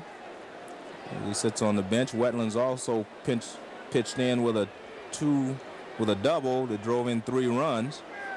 There's a good fastball on the outside corner and Dempsey goes down on strikes. And that's the third strikeout for Stu Tate. Now Stu Tate right now just breezing along and making some good pitches. It's Dempsey looking, and as Joe said, strikeout number three. And he has struck out, he has retired seven straight hitters. And Jose Gonzalez will be the hitter. Gonzalez has a couple of base hits in the ball game. He scored a couple of runs. That was a good curveball for a strike. And as I mentioned at the beginning, he did not seem to be nervous. He seemed to be very relaxed on the mound. And the way his pitch will would back that up. And the one thing you like to see, Joe, he's getting the ball back from Kennedy, and he's stepping right back on the rubber. How do you figure Montreal? They lost to Pittsburgh 9 to 1. It almost looked like Montreal, Joe, was a team that was going to do everything it could do this year to try to win the pennant, and it hasn't happened that way. I, after just before the All-Star break, I felt like Montreal was going to win the National League East because they had everything going for them, I thought, at that time. Chopped foul by Gonzalez. And, of course, they had, I thought they had the best starting pitching in the National League at that time. And I thought that would carry them through, but maybe pitching is not 80 or 90 percent of the ball game, of the game. They mortgaged a lot of their young players to get Mark Langston. Also got John Candelaria, Jim Dwyer high with a fastball, and the count goes to two balls and two strikes. Certainly no guarantees in this game, and it's evident more and more when you pick up the newspaper and and see how acquisitions like a Langston certainly is going to help you, but it's not a cinch. Strike three as Gonzalez cannot hold up on the swing. Strikeout number four for Stu Tate. And as we go to the bottom of the fifth inning, it's the Dodgers seven and the Giants nothing. Here's part two of tonight's feature on Will Clark. In this segment, Will will talk about his role as a team leader. In his four years with the Giants, Will Clark, through his hard work and performance on the field, has come to be known as a leader on the team. Will is the type of player that he's got a big mouth, but he backs it up. And that's what type of player I like, you know. And I like a guy that can talk crazy and still back it up with his bat, you know. And I like that's what I like about him. He got he's got a lot of confidence in himself. People talk about different people uh, uh, being catalysts on the ball club. Um, when things are struggling, when things are down, uh, the club, I think, looks to Will to pick us up. He's uh, the leader on the field uh, as well as off. Uh, he's definitely a franchise player, a player that you could start a, a team by. Uh, you pick him and you go from there. I don't think that you can come out and sit there and say, well, you know, I am the leader. No, um, what you do is you go out on the field and you execute and you perform and uh, you're looked up to by your peers. And uh, so I don't necessarily think of myself a leader in the clubhouse because we have people like, well, Bob Brenly back now, Mike Krukow, uh, Chris Speier, people like that. But, uh, you know, I think of my, myself as a leader on the field um, by the way you go about your job, by the actions that you do, and uh, by the way you play the game. Well, Will Clark also made another statement I think is very indi is indicative of the way that he thinks, and he said, you can't walk out and say I'm the leader. I think the players choose the leader who they follow. I think in the past, a lot of I've seen a lot of times where management tried to designate a leader. It doesn't work that way. The players are the ones that designate the leader, and I think Will understands that. And I think as he's listening to those two segments, he's got his head screwed on very tight. Yeah, I can't- I think it's going to be all right. I can't imagine, Joe, a guy calling a clubhouse meeting and then saying, listen, uh, I'm going to be your leader this year. Right, exactly. say, well, "Take Daryl. Strawberry did it. Well, you Didn't work. You see how that worked. The Dodgers have a new third baseman. Lenny Harris is now at third base for the Dodgers. There you see Lenny. I assume he goes into the spot that was vacated by Hamilton, which is the fifth spot. As Terry Kennedy swings and fouls John Wetteland's first pitch back here in the bottom of the fifth. There you see Jeff Hamilton leaving. We'll probably get a report later on on why he left the ball game. But there's Lenny Harris at third. Kennedy takes strike two. And as Duane mentioned, when the Giants fell behind by a score of four to nothing, Wetteland was struggling at that time with his pitches. And all of a sudden, after he got the four-run lead, he has been more relaxed, thrown all his pitches, and been very comfortable out there on the mound.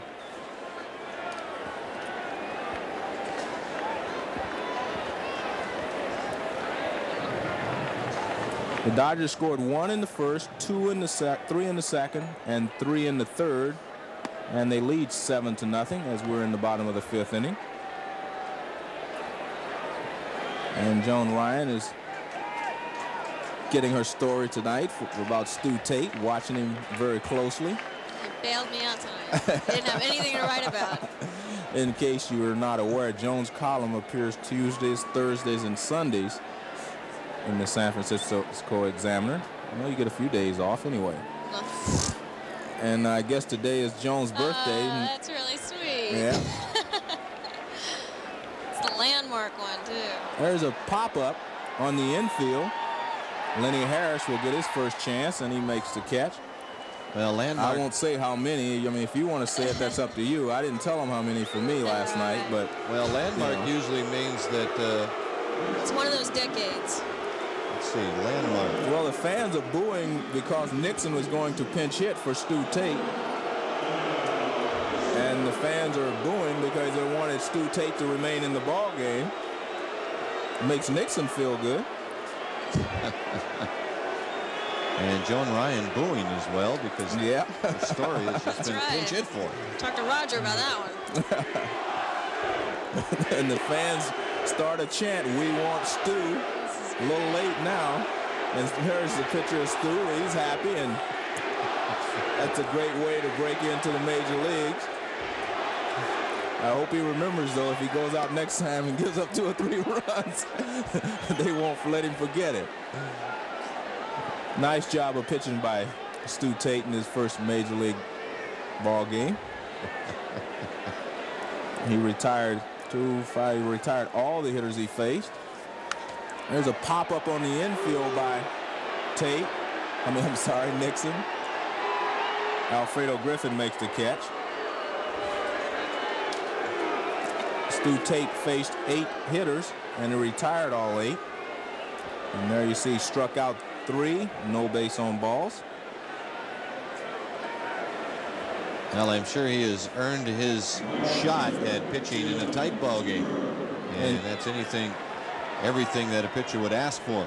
Well, you can see, looks like a very relaxed individual. You know, most guys at this stage, after doing a good job, would be a little excited. He just seems to be very relaxed there on the bench. Like he expected to do well, and that's the kind of confidence you want in your pitchers when you bring them up from the minor leagues. Weaver's the hitter. Jim is batting for the second time in the ball game. He had a line drive to first baseman Eddie Murray in the third inning. He came in when they had a double switch with for Tate to come in as a pitcher. He came in to hit in the ninth slot. Foul ball down the right field line. Eddie Murray is there, and he makes the catch. And that'll do it for the Giants here in the bottom of the fifth. And as Eddie Murray comes in, we'll say goodbye to our guest tonight, Joan Ryan. It's been a pleasure and happy birthday. Maybe Thanks next time we'll celebrate our birthday together. That's You right. Come in to next time and we'll have some cake for you. All right. Thanks for having me. Thanks, Joan. Dodgers seven and the Giants nothing. And as we go to the sixth inning, Duane Kuiper will do the play-by-play. There you see Camacho's record, 3 and 0. And Donnell Nixon goes into right field. There you see Donnell. And Duane Kuiper will do the play-by-play. -play. Duane? Thanks, Joe. It'll be John Wetteland and then the top of the order. Giants trailing 7 to nothing. And Wetteland, a big part of that seven-run deficit as he came up with the bases loaded and one out in the third inning and hit a ball right down the left field line past Ernest Riles. Drove home three runs and that capped off an inning where the Dodgers scored three runs and took a seven to nothing lead. So Wetteland trying to break a personal five game losing streak. He has lost his last five starts. He's lost two in a row in those starts as that's a call strike 0 and 2 to Wetteland for Camacho 3 and 0 with an even three earned run average ahead in the count to Wetteland 0 2 and that's a call strike three so Camacho blows away Wetteland. and that's the first out here in the sixth inning. Take a look at some of the scores. We mentioned Pittsburgh 9, Montreal 1. Bobby Bonilla hit his 23rd home run as Pittsburgh went on to pound Montreal. San Diego 3, Cincinnati 1. As the Padres scored two runs in the 10th inning to come up with that victory. Houston 7, Atlanta 6. Atlanta at one point led in that ball game 6 to 1 as that pitch misses to Alfredo Griffin.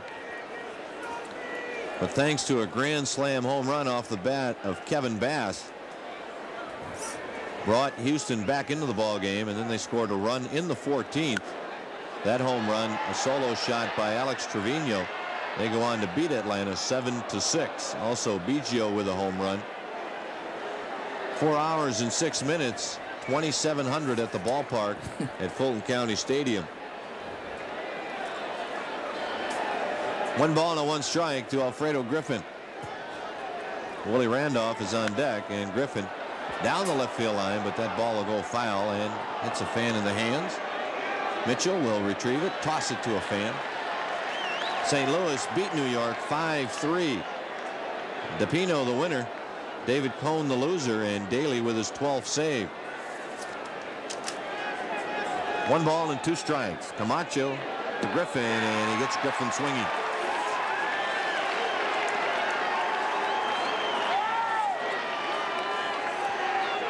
Well, we get another look at it. It looks like the split finger, as you can see, or the screwball. Ball really dives. You can see right there. The ball dives away from Alfredo Griffin, and he was fooled by the speed as well. Here's Willie Randolph. Randolph two for three, a pair of singles and an RBI.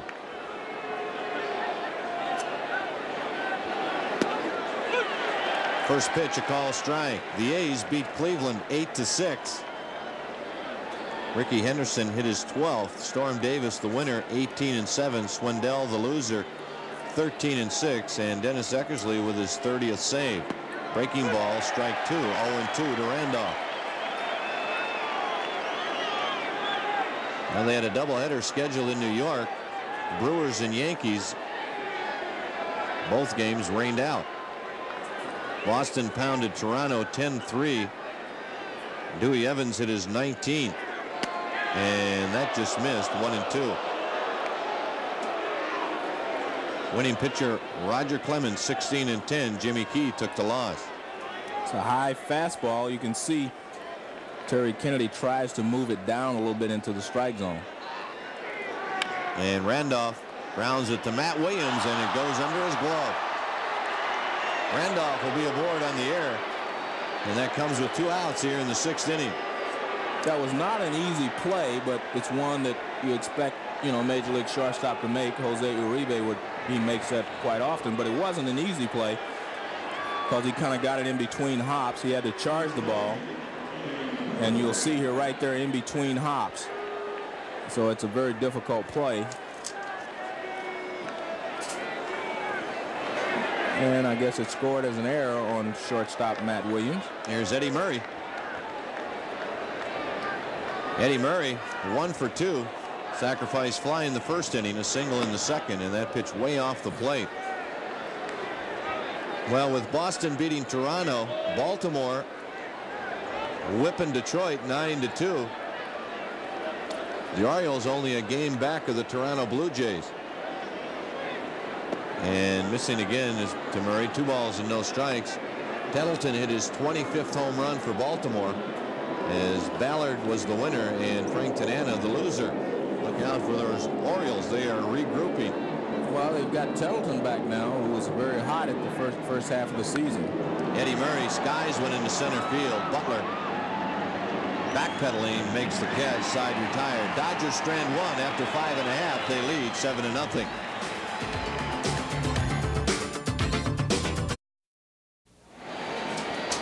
Now back at Candlestick, bottom of the sixth inning, and one of the youngsters out at the ballpark, bundled up, as well as I don't want to say oldsters, but as well as the other Mature. people here in the ballpark. Mature individuals. Yeah. Yeah. As my brother in the truck says, the veteran, Veteran fans, fans, here yeah. at Candlestick. Well, the story has been John Wetteland and the fact that the Dodgers scored seven runs early. Butler will lead it off for the Giants. Brett Butler is 0 for 1, popped out, and he walked in the third inning. And takes the first pitch high. To round out the scoring in the American League, Texas beat Seattle 3-2. Chicago over Kansas City 7-2. Kansas City now falls four and a half behind the Oakland A's. And with California winning, they stay two and a half behind the team across the bay. Two balls and no strikes to Butler. And Butler taking all the way takes a strike, two and one. Thompson on deck, followed by Clark and then Mitchell.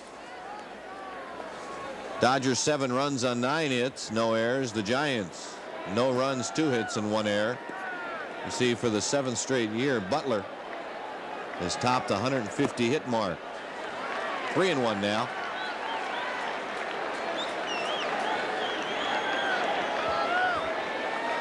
There's the line score we're talking about. A run in the first inning, three in the second, three in the third. And Butler draws a walk. Brett hesitated, thought it may have been a strike, stuck around long enough to find out for sure that it was a ball. And he strolls down to first. Second walk for Butler. And here's Robby Thompson. Duane, we got a report on the reason Jeff Hamilton left the ball game. He had stiffness in his right shoulder.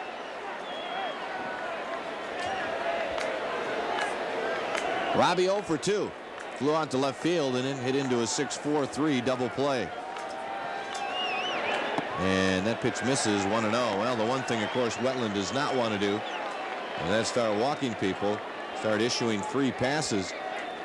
And if the Giants can do some damage, one thing they'd like to do is cut into this lead so that when they work themselves around the batting order once again, they could have a shot at, of at least tying the game. Well, I think that's what the Giants have to look at, trying to get one, a couple here, a couple there, and then, you know, take a shot at them in the eighth or ninth.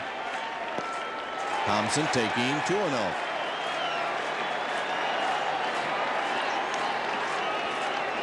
Well, there's the leaders in triples in the National League. Thompson with 11, Clark with 9, and then it's Coleman and Bonilla. So the Giants 1-2. Actually, three players tied for that second spot. 2-0 to Thompson. And Robby taking all the way. It's 3-0. With that, there's action down in the Dodger bullpen. I recognize John Tudor on the right. Mike Hogan. Horton. No, that's Mickey Horton. Mike Horton? Well, he must be a rookie. Horgan. Now you see Dempsey's going to take as much time out there as he possibly can, and umpire Steve Rippley starts out to break up the conference, and Dempsey comes back behind the plate. So I think it's Mike Morgan. Thanks, Grady. I make enough mistakes without you adding one to it. Here's a 3-0 to Thompson, and that's a call strike. Yeah, Grady Lever, AD, and a good one. Yeah, he gave me Mike.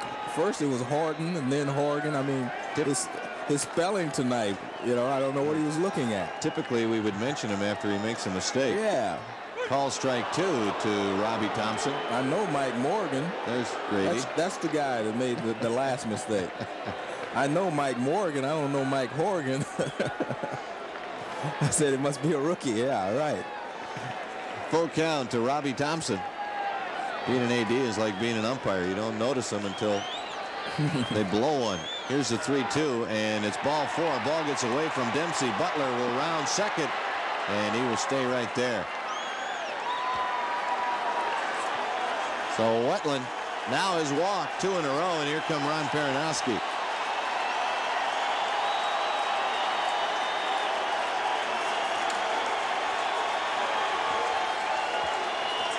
And this is the slow walk by yeah. the Dodger pitching coach. Yeah, I think they're giving whoever they want a little more time in the bullpen. There's Morgan on the left and John Tudor on the right. I don't think they would use Tudor. I think Morgan would be their choice unless unless he's going to come in maybe only pitch to one hitter. But they're going to leave Wetteland in the ball game. Well, I don't know about you guys, but I wanted to see that Horgan guy. Yeah, I wanted to check him out too. And Lasorda is probably thinking about putting him in as well. Yeah, there you see. Mike Morgan. Here's Will Clark facing the youngster, John Wetteland. Clark one for two. A single, and he grounded out to second, and on the first pitch, he fouls it back.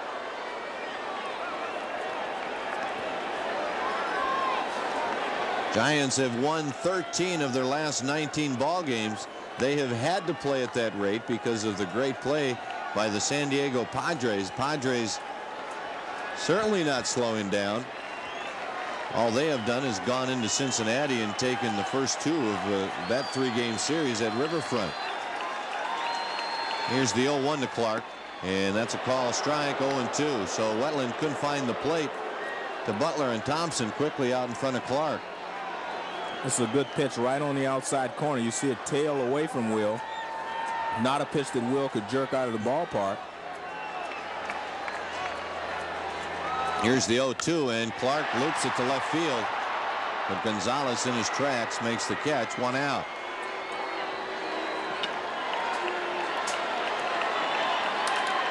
That'll bring up Kevin Mitchell. When they get a look at Will here, I think he gets fooled a little bit by the speed of this breaking ball. It was up in the strike zone. Yeah, you can see he starts to go forward a little before he normally does. And he tries to take it the other way. But I think the bat speed slowed down and the curveball got on his hands a little bit. Mitchell swings and misses 0-1. Kevin 1 for 1. Walked in the first inning, singled in the fourth. Mitchell league leader in home runs and RBIs. Batting average at 293. And that's in the dirt. Both runners will advance. So the Giants now an opportunity to get on the board with a sacrifice fly.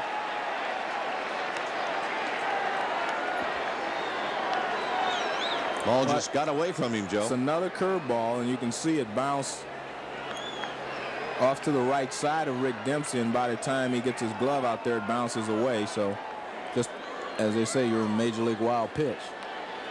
One thing he has done is they've been bouncing and they're the breaking ball. That's the only pitches that have really gotten away from him tonight. One ball, one strike, one out. Thompson at second, Butler at third. Giants trailing 7 to nothing. Ernest Riles on deck for the Giants. And Mitchell takes his pitch down and away, 2 and 1. Mitchell this year against the Dodgers, three home runs, 14 RBIs. See, Kevin needs two home runs for an even 100 in his career. And Mitchell taking again, and it is three and one. That was an unusual pitch there in that the count was already two and one. He has not been able to get the breaking ball over, and he goes with it again. And it's three and one. So I think a lot of times pitchers will tell you you'd rather throw the fastball two and one rather than throw it three and one to a slugger. Here is the 3-1, and Mitchell hits it off his fist. Honey Harris will let the run score. The play will be at first. Thompson moves to third, and the Giants on the board. Now 7 to 1 Dodger lead. Mitchell with RBI number 121. So the wild pitch not only keeps the Giants out of a double play situation, but also gives the Giants a chance to get on the scoreboard.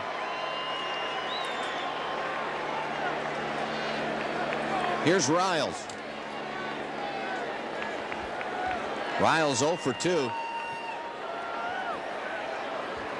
And he takes the first pitch 1 0. Matt Williams on deck. Matt having struck out twice in two at bats.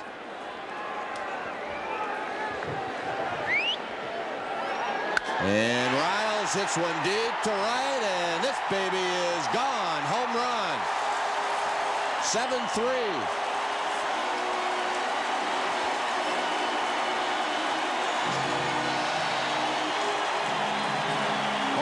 Number seven for Ernest Riles.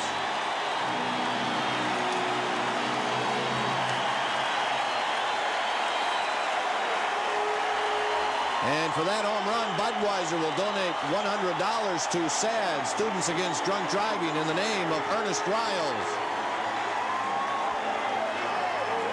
Riles is a good fastball hitter, and I think what has happened is Wetteland's fastball has lost a little bit of its pop and he gets a fastball here about bell tie, inside part of the plate, and he really drives it out, out of here. Ball's a home run from the time it leaves the bat.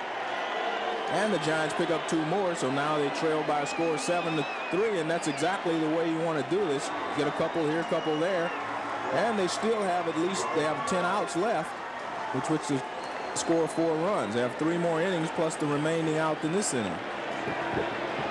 Well, as I men mentioned, Joe, the more you hit, the better opportunity you have of getting back to the top of the order for the Giants, and certainly they would like to do that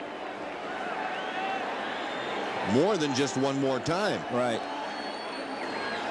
Now, Wetteland taken out of the ball game.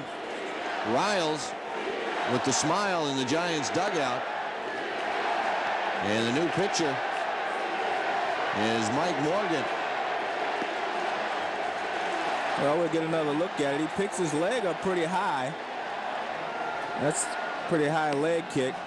But he opens his hips very well, gets the bat through the hitting zone with a lot of bat speed. And he hits it into the football bleachers.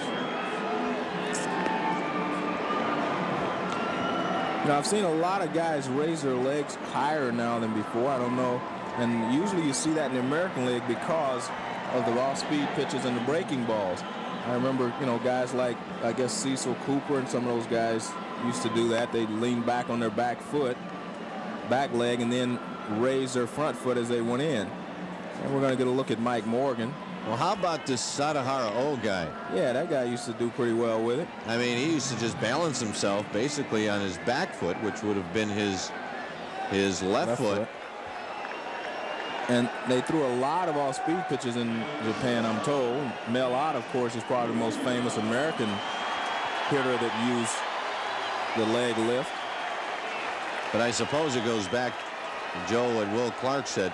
You can do a lot of things, but when you get through that hitting area, basically everybody should do the same thing.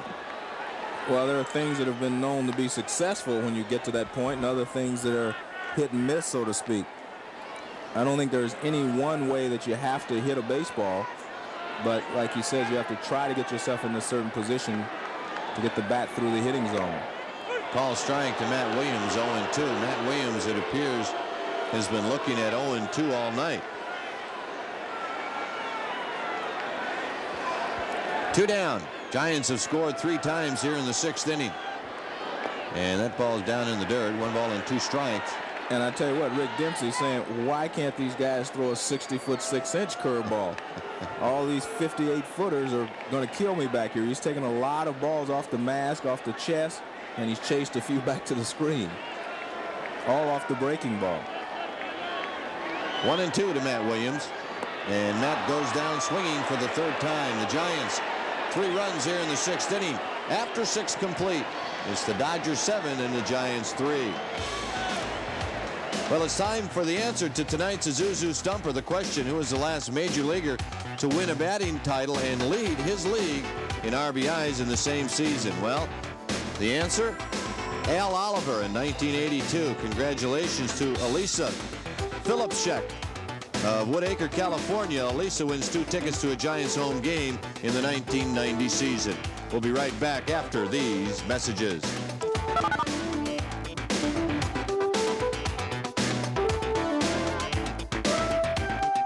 Now we've reached the seventh inning, and the Dodgers leading the Giants 7 to 3. Giants three runs on three hits and an error. Dodgers seven runs on nine hits and no errors. Ernest Riles inching the Giants back into this ball game with a two-run home run in the sixth inning. Well, it's a fastball about belt high and actually looks like it's almost in the middle of the plate. And when you get a lot of pitches in that zone, a lot of major leaguers can hit at the ball very hard.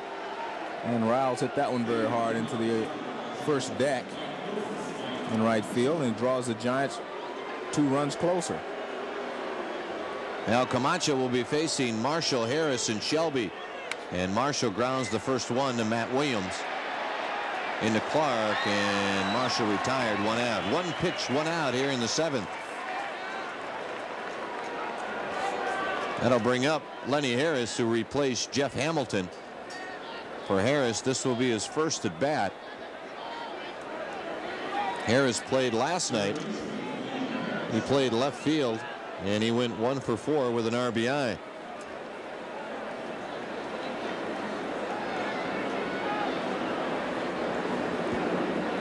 You see Camacho pitching from a stretch even though there are no base runners on base.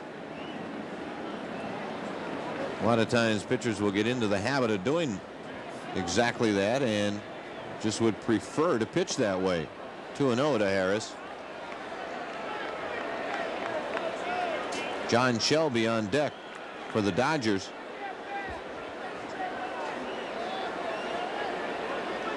And Harris pops it up. See if Riles will have a play on it. And he does, and he makes the catch. Two down.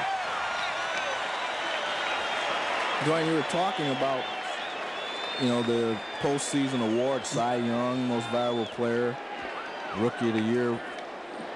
Do you have picks in all those categories, or or what? Or should we just discuss the American League tonight? Well, I think that, you know, school's out on a lot of those picks yet. I think the last week of the season may determine, and a lot of times it has a lot to, to do, Joe, with who wins as far as the teams. As here's Shelby, and that's a breaking ball for a call strike, 0-1.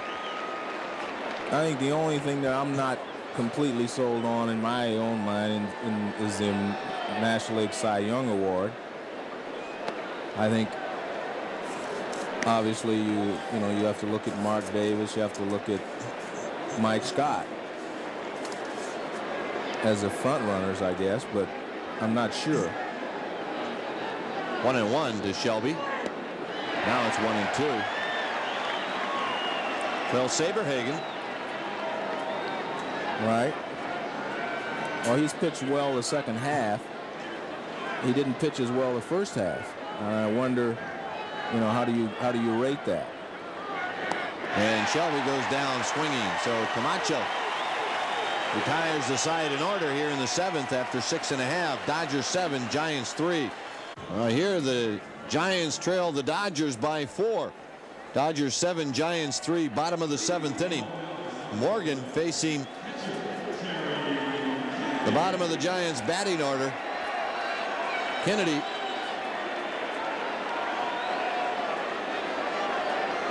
will be the leadoff hitter. And Kennedy takes the first pitch down 1 0. There you see Trevor Wilson warming up for the Giants. And Kennedy hits it hard and right at Trevor Wilson. Makes the catch, hands it to a fan. And continues his warm-up. One ball and one strike. Now, now they wish Joan Ryan a happy birthday on the big board here at Candlestick. And Kennedy fouling it down the left field line. At least stayed fair. The wind blew it back. So Kennedy hitting a pop fly down the left field line in fair territory to Jose Gonzalez. There's the board. And if Joan thought for one second that she was going to get out of here with nobody knowing it was her birthday, pretty good joke on her. I thought I could sneak by yesterday. Yeah, right. well, I didn't think we were eh, people were around looking through the books, looking for dates. Here's Nixon. Nixon popped out to Alfredo Griffin, and he lays one down, and this ball is going to be foul. Harris was in tight at third, but Nixon made a good enough bunt that if it would have been fair, I think he could have been able to beat it out. You can see he tries to drop it down, and he gets a big bounce. That gives him time to run before it comes down, but you can see the ball is foul after two bounces. Joe, talking about Saberhagen, he leads the American League in earned run average, and he leads in wins with 20. Now, the other side of the coin would be Dave Stewart has lost two wins his last two outings. Yeah. Because of a couple of home runs hit off of Dennis Eckersley. In the ninth inning. But Saberhagen hasn't been needing any help. He's been going nine. I, I really think that wins and losses are what counts, and I've said that all along. Because, I mean, for that matter, well, Hershiser has one of the lowest earned run averages in the National League. You're not going to say he's a Cy Young Award favorite. Here's the 0-2 to Nixon, and it's in the dirt. And another bouncer off the leg of Rick Dempsey. See, Ken Oberkfell on deck.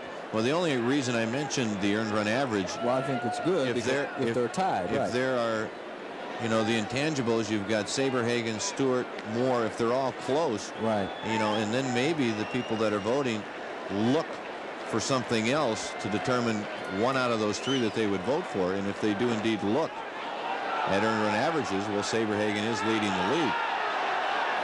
And they're going to call him out, and Dempsey tags Nixon out. Well, I think the umpires did all they could do. They called the play right away, and which would have allowed Nixon to run, but Nixon was kind of looking down at the ground because he didn't think he swung. But all you can do is have the umpire call it right away, which they did. Terry Tata, we'll get a look at it. See, he goes, he checks his swing. Nixon thinks it's a ball. See, he's looking down at the ground. He's not looking. And they and there you see Terry Tata is calling the swing, but Nixon didn't see it. And now he's out. And here's Oberkfell.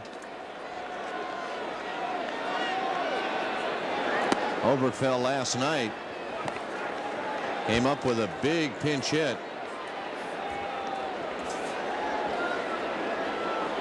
To lead off that fifth inning where the Giants scored those three runs, Oberkfell single ended up was forced at second base. But he got the inning started, and the Giants ended up beating the Dodgers 3 to 2. Off the plate to Oberkfell, two balls and one strike. Obi with that single. Last night, 13 pinch hits on the year. And now it's 3 and 1. You know, rare in the American League, most of the time it's a starting pitcher that wins the Cy Young Award. And I believe the reason for that is because the starting pitcher can stay in the game longer. You know, they don't, they're not pinch hit for if the score is one to nothing. Like in the National League, you lose a lot of wins that, or chances to win a ball game. If you're trailing one to nothing in the seventh or eighth, they're going to take you out for a pinch hitter.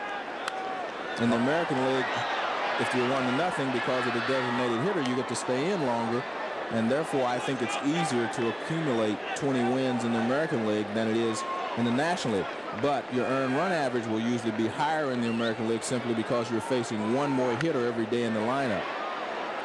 Oberkfell grounds it to Randolph. He throws to Murray, and the Giants go one, two, three here in the seventh inning after seven complete. It's the Dodgers seven, Giants three.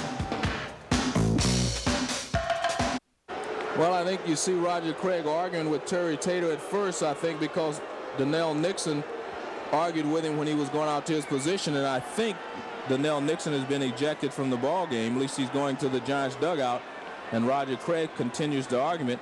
First, Will Clark went over to help defend, you know, Donnell Nixon, but then Roger Craig had to go out. And there you see Nixon pointing out, he says, I didn't do anything, but Terry Tata probably thinks differently about it. Well, call it a night for Nixon. Roger heads back to the dugout. Well, in defense of Terry Tata, right here, Nixon tries to check his swing. Okay, now Nixon, watching. He looks down at the ground. He is not looking up. Now they're asking for the appeal at first base. Now, all Terry Tata can do is call him out right away. That gives Nixon time to run, and he did that. You can see. So, you know, in defense of Terry Tata, I think he did all he could do. I think the problem was that Nixon was actually looking down at the ground and did not see Terry Tata calling him out. Now, whether he swung or not is a different story. Trevor Wilson,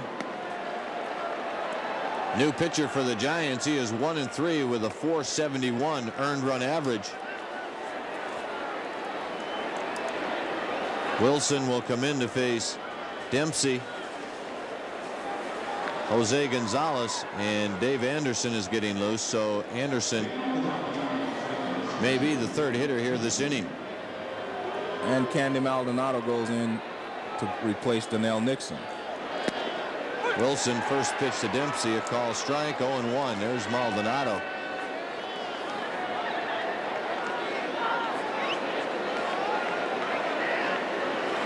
Oh and one to Rick Dempsey. One ball and one strike. Joe and I talking between innings. Difficult choice when you look at the MVP for the American League as this ball is popped on the infield. Ernest Riles taking charge makes the catch. Dempsey retired and that'll bring up Jose Gonzalez. You look at offensive players and obviously a lot of guys having good years Joe just having, you know, you look for the player that has the, the good batting average, you know, a lot of home runs and RBIs, and you're looking for one guy that is sharing a lead in, in all three of those departments. And you really don't see it. And it, then you start looking for players that are playing on winning teams, and that eliminates a lot of players as well. So, you know, it may come down to one of the pitchers winning the MVP. That's a good point. I I think that the MVP should be for a player, but I'm prejudiced in that case because I think the Cy Young is for a guy to, you know, for a pitcher to win. Gonzalez pops out to Butler, two down. All right, I think you've done enough of my inning now. I just wanted to let you get even with me since I've taken most of yours throughout the year. I'll let you, you did the first two hitters. Now, that'll probably make us even for the year. I'll I'll finish it up. All right. Well, I got the first two outs, so okay. no, but I, I, I look at a guy like Robin Yount, who has done well in just about all the categories that you're talking about. He's in the in the top 10 in batting average, um, RBIs, and et cetera, et cetera. And he's a pretty good defensive center fielder. So he may be one of the guys that they'll have to look at because you look at McGriff on a winning team, he's got home runs, but he doesn't have the RBIs. That was a swing and a miss by Anderson, and it counts no balls and two strikes. Anderson is batting here for Morgan, and we'll see Jay Howell, I'm sure, in the eighth and ninth for the Dodgers. Low with a breaking ball, and Trevor kind of bounces off the mound. He looked like he got his spike caught as he released the ball. There you see him limping a little bit and Will Clark and Terry Kennedy go out to check on him. Says he's okay, just caught his spike in the dirt. Now watch Wilson. Yeah, he slipped a little bit and then goes down to one knee. Well, in the National League, Joe, I think it'll be Mark Davis that'll win the Cy Young. Right, I agree. There's a ground ball to shortstop. Matt Williams charges. And the Dodgers go one, two, three here in the eighth inning. And after seven and a half, it's the Dodgers seven and the Giants three. There you see Jay Howell. He's the new Dodger pitcher as we go to the bottom of the eighth inning and the Giants trail seven to three. Jay Howell, there you see, leads the Dodgers with 26 saves and a fantastic earned run average, 1.18. And he's got a 5 and 3 1 loss record. Now, the last time we saw Jay Howell basically threw nothing but breaking balls. Duane is kind of interesting, or maybe Bob Lurie wouldn't think so, but there's only 23,507 here for a Dodger game, which is unusual because the Dodgers usually draw no matter what the situation is, but with the Giants battling for a pennant, you would think that maybe the combination of the two would draw more than 23,000 fans. Well, I think some of the fans in the Bay Area think that it's over. Well, there are a lot of people in the area that think that it's over, and I guess since we're players and we've seen teams lose leads, you can't say it's over. Like Yogi says, it's never over till it's over. And so I think maybe we should wait a little bit before we say the A's are going to be in the playoffs and the Giants as well. I mean, there's no doubt that if you're going to put any odds on it, you'd have to, you know, say the Giants and the A's are favored, but anything can happen in the next couple of weeks. Brett Butler will lead it off as the Giants are trying to make up a four-run deficit here in the bottom of the eighth inning. Butler is 0 for 1, but he does have two bases on balls, and he did score a run for the Giants in the sixth inning, and he takes a strike from Howell. There you see Butler's nickname, Bugsy. Fastball hit hard but foul outside of first base. And the count no balls and two strikes to Butler. Well, Giants tagged Butler with that because of the wide brim hats that Butler would wear on the road trips. And they came up with Bugsy and as usual it stuck. And I'm sure that Mike Krukow had a lot to do with it. 0-2 pitch fastball hit high in the air in the right center field. Shelby is calling.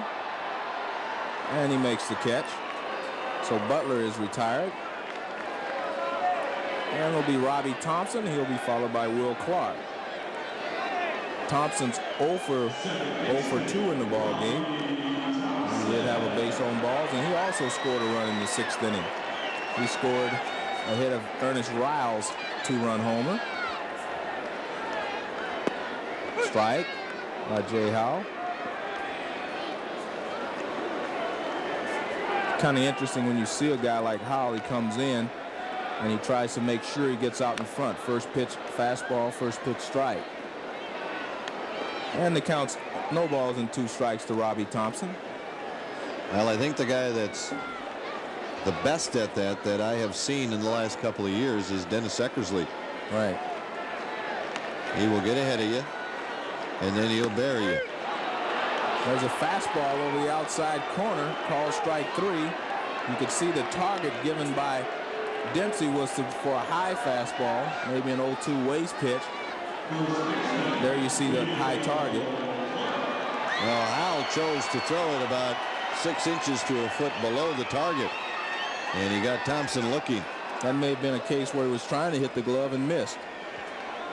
Will Clark has one base hit in three attempts.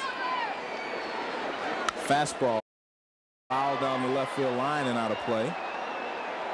Will came in trailing Tony Gwynn by a point. Gwynn went one for four in Cincinnati. And Will is one for three here. And if you're wondering, is there anyone that could sneak up on Clark and Gwynn? No. Lonnie Smith is hitting 315. He's third. There's a high fastball popped up on the infield. Lenny Harris is calling, and he makes the catch. And so the Giants go quietly again here in the eighth inning. And we've completed eight full. It's the Dodgers seven and the Giants three. And we'll be right back after these messages. And the Giants, as you can see, only have three base hits. A home run by Riles, a single by Will Clark, and also a single by Kevin Mitchell. And the Dodgers continue to have action in their bullpen as Alfredo Griffin will lead it off for the Dodgers in the ninth. Griffin is one for three in the ball game with an RBI and a run scored. He swings and misses at a fastball down and in. Griffin has struck out his last two times to the plate.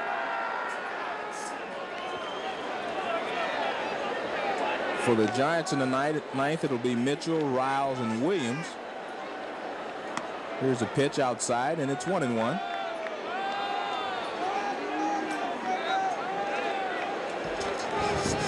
Trevor Wilson pitched well in his last outing is also. There's a check swing on a high fastball. Well, if you're looking forward to the rest of the weekend, or tomorrow night and then the rest of the weekend. Ramon Martinez will pitch for the Dodgers tomorrow. His record is 5 and 3. There's a liner to shortstop. Matt Williams makes the catch. And there's one down for the Dodgers here in the ninth. Ramon Martinez will go for the Dodgers tomorrow evening. He'll be opposed by Kelly Downs. Martinez is 5 and 3 and Downs is 3 and 6. On Friday, the Houston series will have Mark Portugal going against Scotty Garrelts. Portugal is 6 and 1 and Scotty Garrelts is 14 and 3. And there you see the stat that the Dodgers have not scored since the third inning. In fact, they haven't had a hit since the third inning.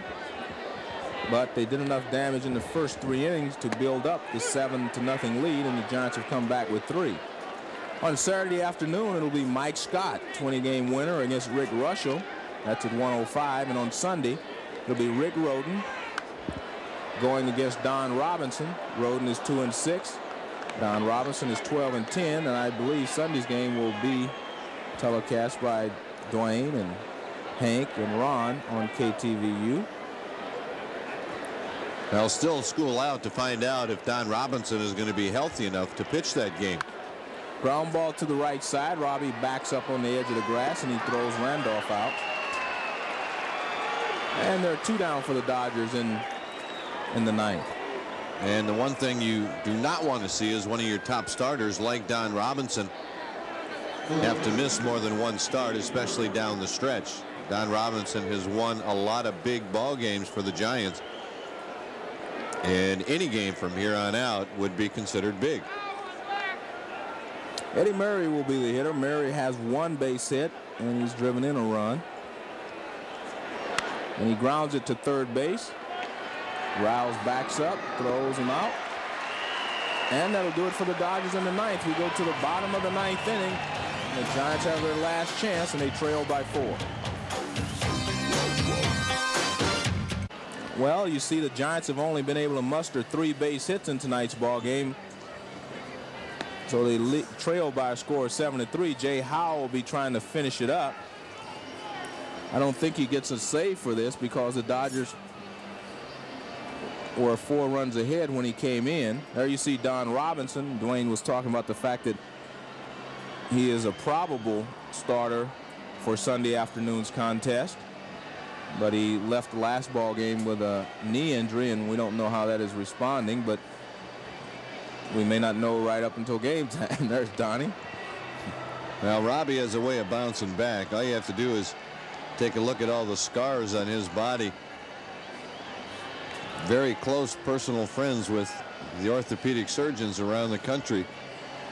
And he has a way of, like I said, pitching in the big games and doing very well. Well, the throw goes down to second base, and Kevin Mitchell will lead it off for the Giants. Kevin has one of the three base hits. He also has driven in a run with a sacrifice fly, which was his 121st run batted in. Will Clark led the National League with 109 last year. Kevin Mitchell has hit 45 home runs, which is the most since Willie McCovey hit 45 in 1969 for a Giants player.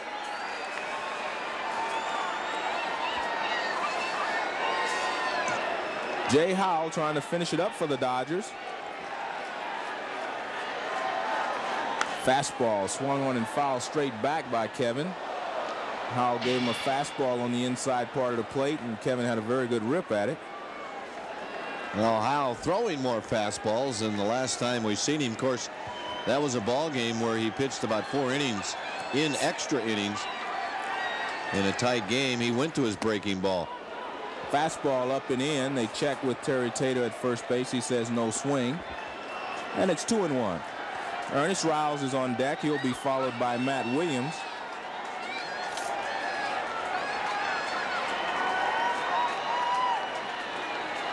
Here's the 2-1 pitch. Fastball hit high and deep to center field. Going back, looking up, it's gone.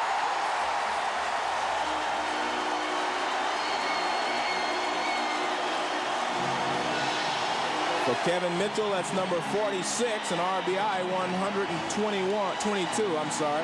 It's his second RBI of the ball game. So he surpasses Willie McCovey's 45 in 1969. And that 46 home run for Kevin Mitchell, Budweiser will donate $100 to SAD, Students Against Drunk Driving, in the name of Kevin Mitchell. Ernest Riles is a hitter. He takes a strike on the outside corner. And the Giants have narrowed their margin to 7 to 4 on Kevin Mitchell's 46th home run. Breaking ball, and it's high for a count of one ball and one strike. Mitchell's home run was measured at 417 feet. So that means it went 17 feet beyond the 400-foot barrier in center field.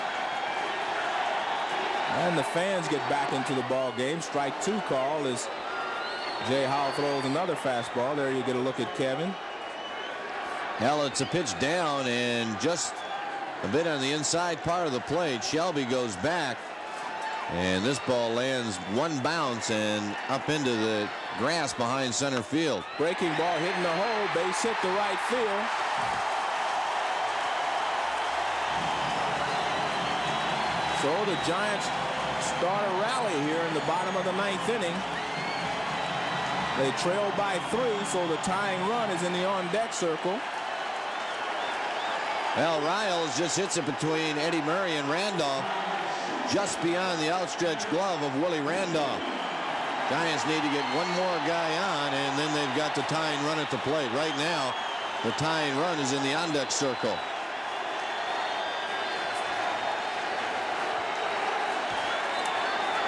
Jay Howell is on facing Matt Williams. Matt has struck out three straight times in the ball game. Fastball hit high and deep to right center field. And it's off the fence, the bottom of the fence. Coming around the score is Riles. He better hurry. The throw is over Dempsey's head. And Riles comes in to score. And Matt Williams ends up at second with a double. And it's a 7 to 5 ball game. Well, Joe, the Giants put a little dent into the ERA of, of Jay Howell. And Matt Williams goes the other way. Thought for a minute this ball was going to get out of here.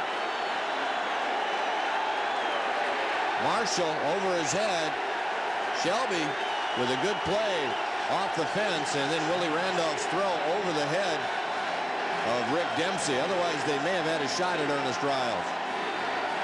There you see Matt Williams going the other way on the fastball. I think Matt thinks it's out of here, too.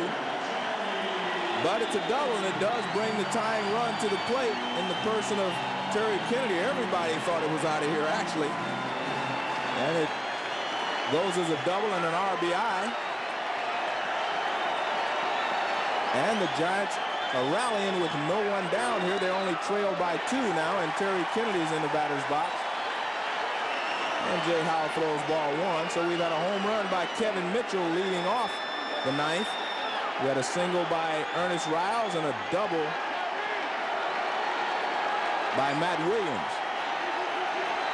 Here's a pitch by Howell. Fastball, base hit the right field. They're going to wave Matt Williams around, and it's a 7 to 6 ball game. And Terry Kennedy is on it first.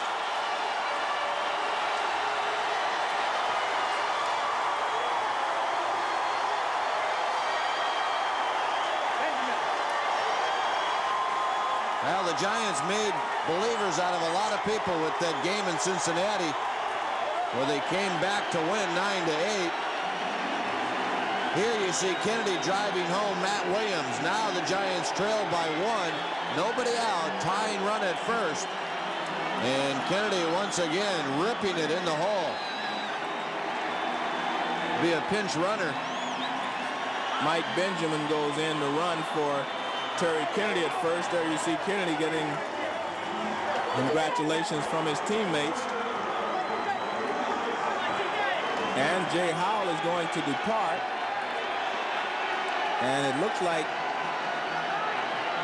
Mike Hartley is coming in. John Tudor continues to throw in the bullpen. That's Mike Hartley coming in from the Dodger bullpen. And as Duane said, they're putting a little dent in Jay Howell's 1.18 earned run average. That'll put a real big dent. Giving up three runs in, in one inning. Basically, he pitched the eighth inning and he got out of it, but the ninth inning he hasn't retired anyone. And he's given up three runs. All earned. There you see Chris Speier. He comes out to pinch hit for Candy Maldonado, which says that they're going to bunt sacrifice. As you see, Candy goes back. Well, what do we know about Hartley? He has pitched in four innings this year. He has struck out two. He has not allowed a run. He hasn't even allowed a base hit. Hartley, his first year in the big leagues. Actually, it's probably his first month. He is 6'1", 185.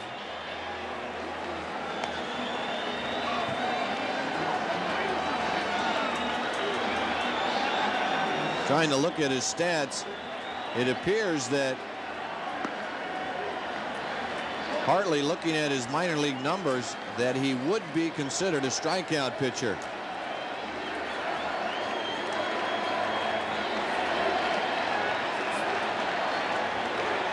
Now, now, now Mike Laga is going to come out and bat in place of the pitcher, Trevor Wilson.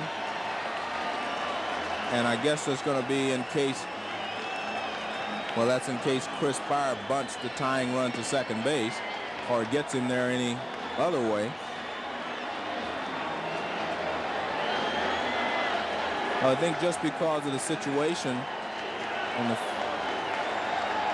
that Chris Speier will be sent up there to try to sacrifice. Speier, of course, is a good bunter. And he also is a good hit and run man, so gives Roger Craig a couple of options. Hey, Joe, you talk about tough jobs that you have to do in the big leagues, going in for defense. Coming in trying to earn a save, you only get one opportunity to do it. How about laying down a sacrifice bunt when you when everybody knows that's what you're going to do. That's true. That's a lot of pressure on Chris to do his job. But he's been in this position before. He only has two sacrifice bunts, but that's because he's been on the disabled list quite a bit this year. He's missed a lot of ball games. Well, the Giants have come back for three here in the bottom of the ninth, but they need one more. And Mike Benjamin leads away at first base. He's pinch running for Terry Kennedy, and Chris Speier squares around, and he's almost hit with the pitch as Hartley fires a fastball up and in. Well, it looks like Roger Craig is back to having fun. For a long time, sat in the dugout. Really not a whole lot he could do. There you see Roger. Speier around the bunt, and he takes a strike, and it's one and one. The Giants came into the bottom of the ninth trailing 7 to 3. Kevin Mitchell led off with his 46th home run of the season. Ernest Riles single. Matt Williams hit a double to drive him in.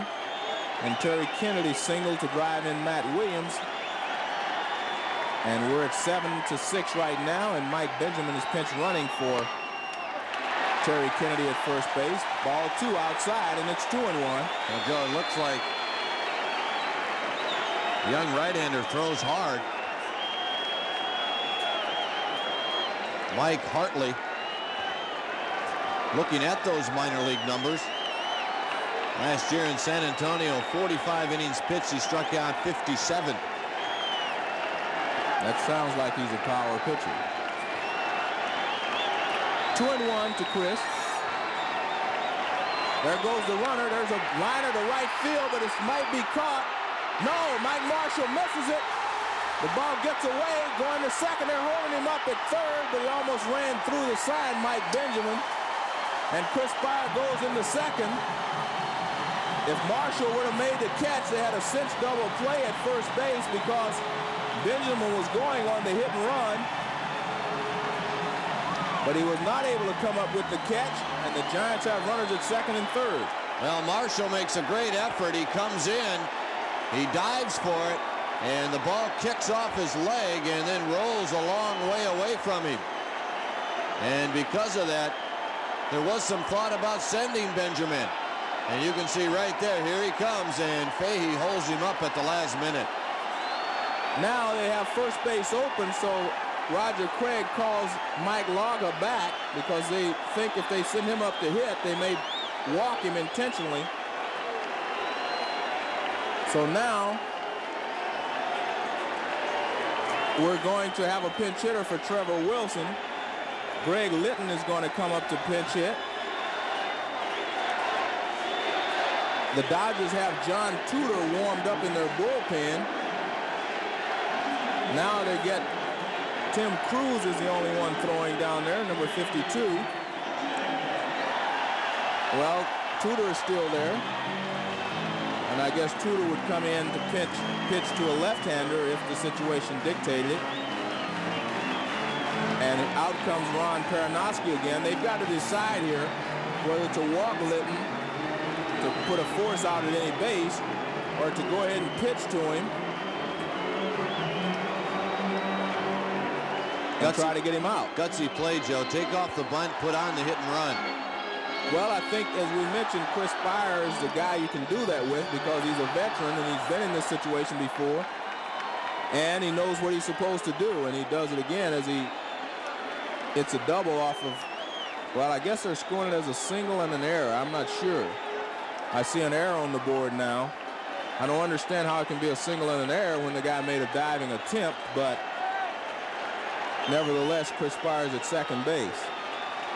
If you dive for the ball, if you don't catch it, it's got to be an error all the way or it's got to be a base hit all the way. And he did not kick it after the single, after the ball hit the ground. Well, the, Dodgers are playing the infield in on the right, and I guess they're going to go pitch to Greg Litton.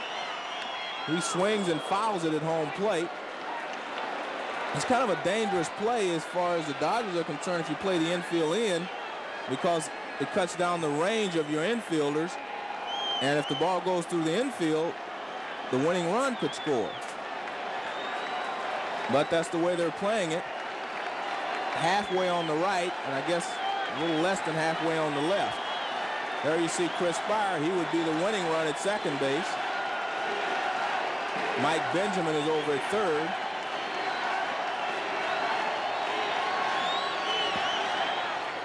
breaking ball in the dirt, and I guess I was wrong. They did not give Chris Speier a single. It was an error all the way, Duane. A diving attempt in right field by Mike Marshall has scored an error all the way. And I, that's unfair, first of all, to Chris Speier, I think, because he did the job. And I thought, reading the rule book, it said any ball that cannot be handled with routine effort should be scored as a base hit. And that was definitely not a routine play for Mike Marshall in right field when you have to dive for a ball. That'll be changed. Well, it should have never gone up that way. One ball, one strike to Greg Litton. Inside, they check with Terry Tata down at first base. He says no swing. And the count's two balls and one strike.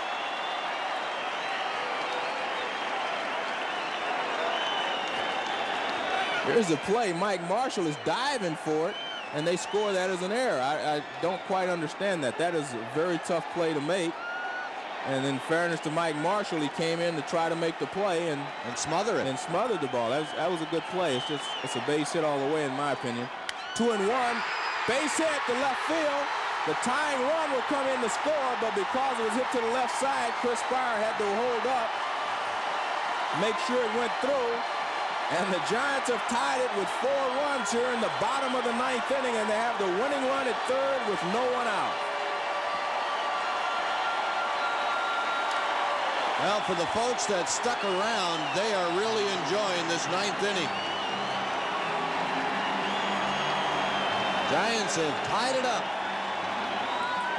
What do you think the San Diego Padres are saying about now?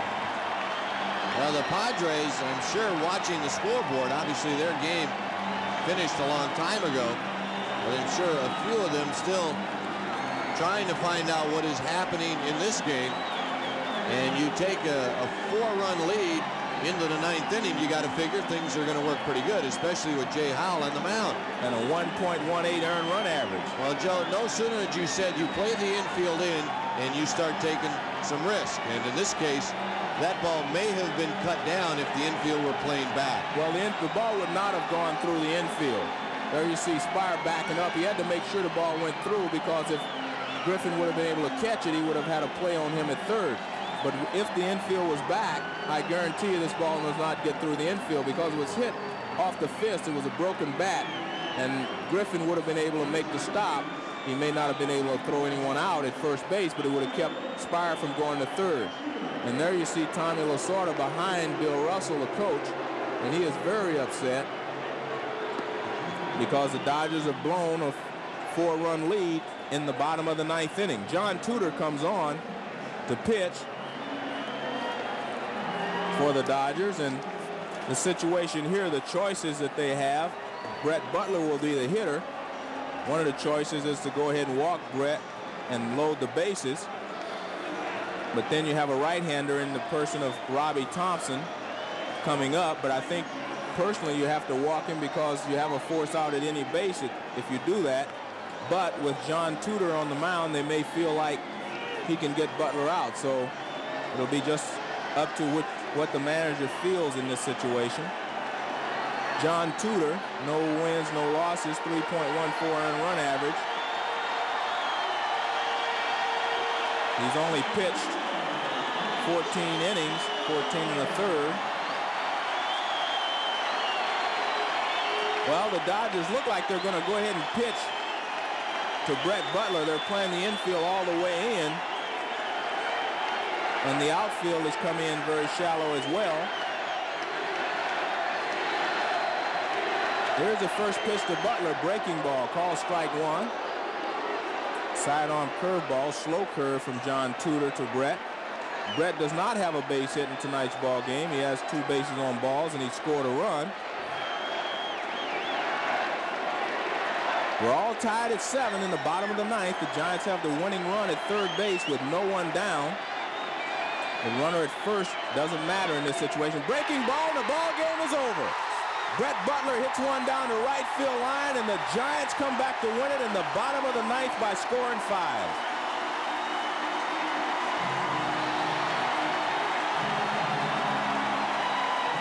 Well, Joe, you really can't give up. And the Giants proved once again that if you can stick it out, put a bunch of hits together, you got a chance to come win, come back and win the ball game. And I can't believe the way this team has done that as many times as they have in 1989. Now you see Rick Dempsey. He was behind the plate when all this happened. But there are a lot of heroes in the Giants dugout tonight. None more important than Brett Butler. As for the second time in this last week, he's driven in the winning run with a base hit. In the bottom of the ninth. Giants win it 8 to 7, and we'll be right back after these messages.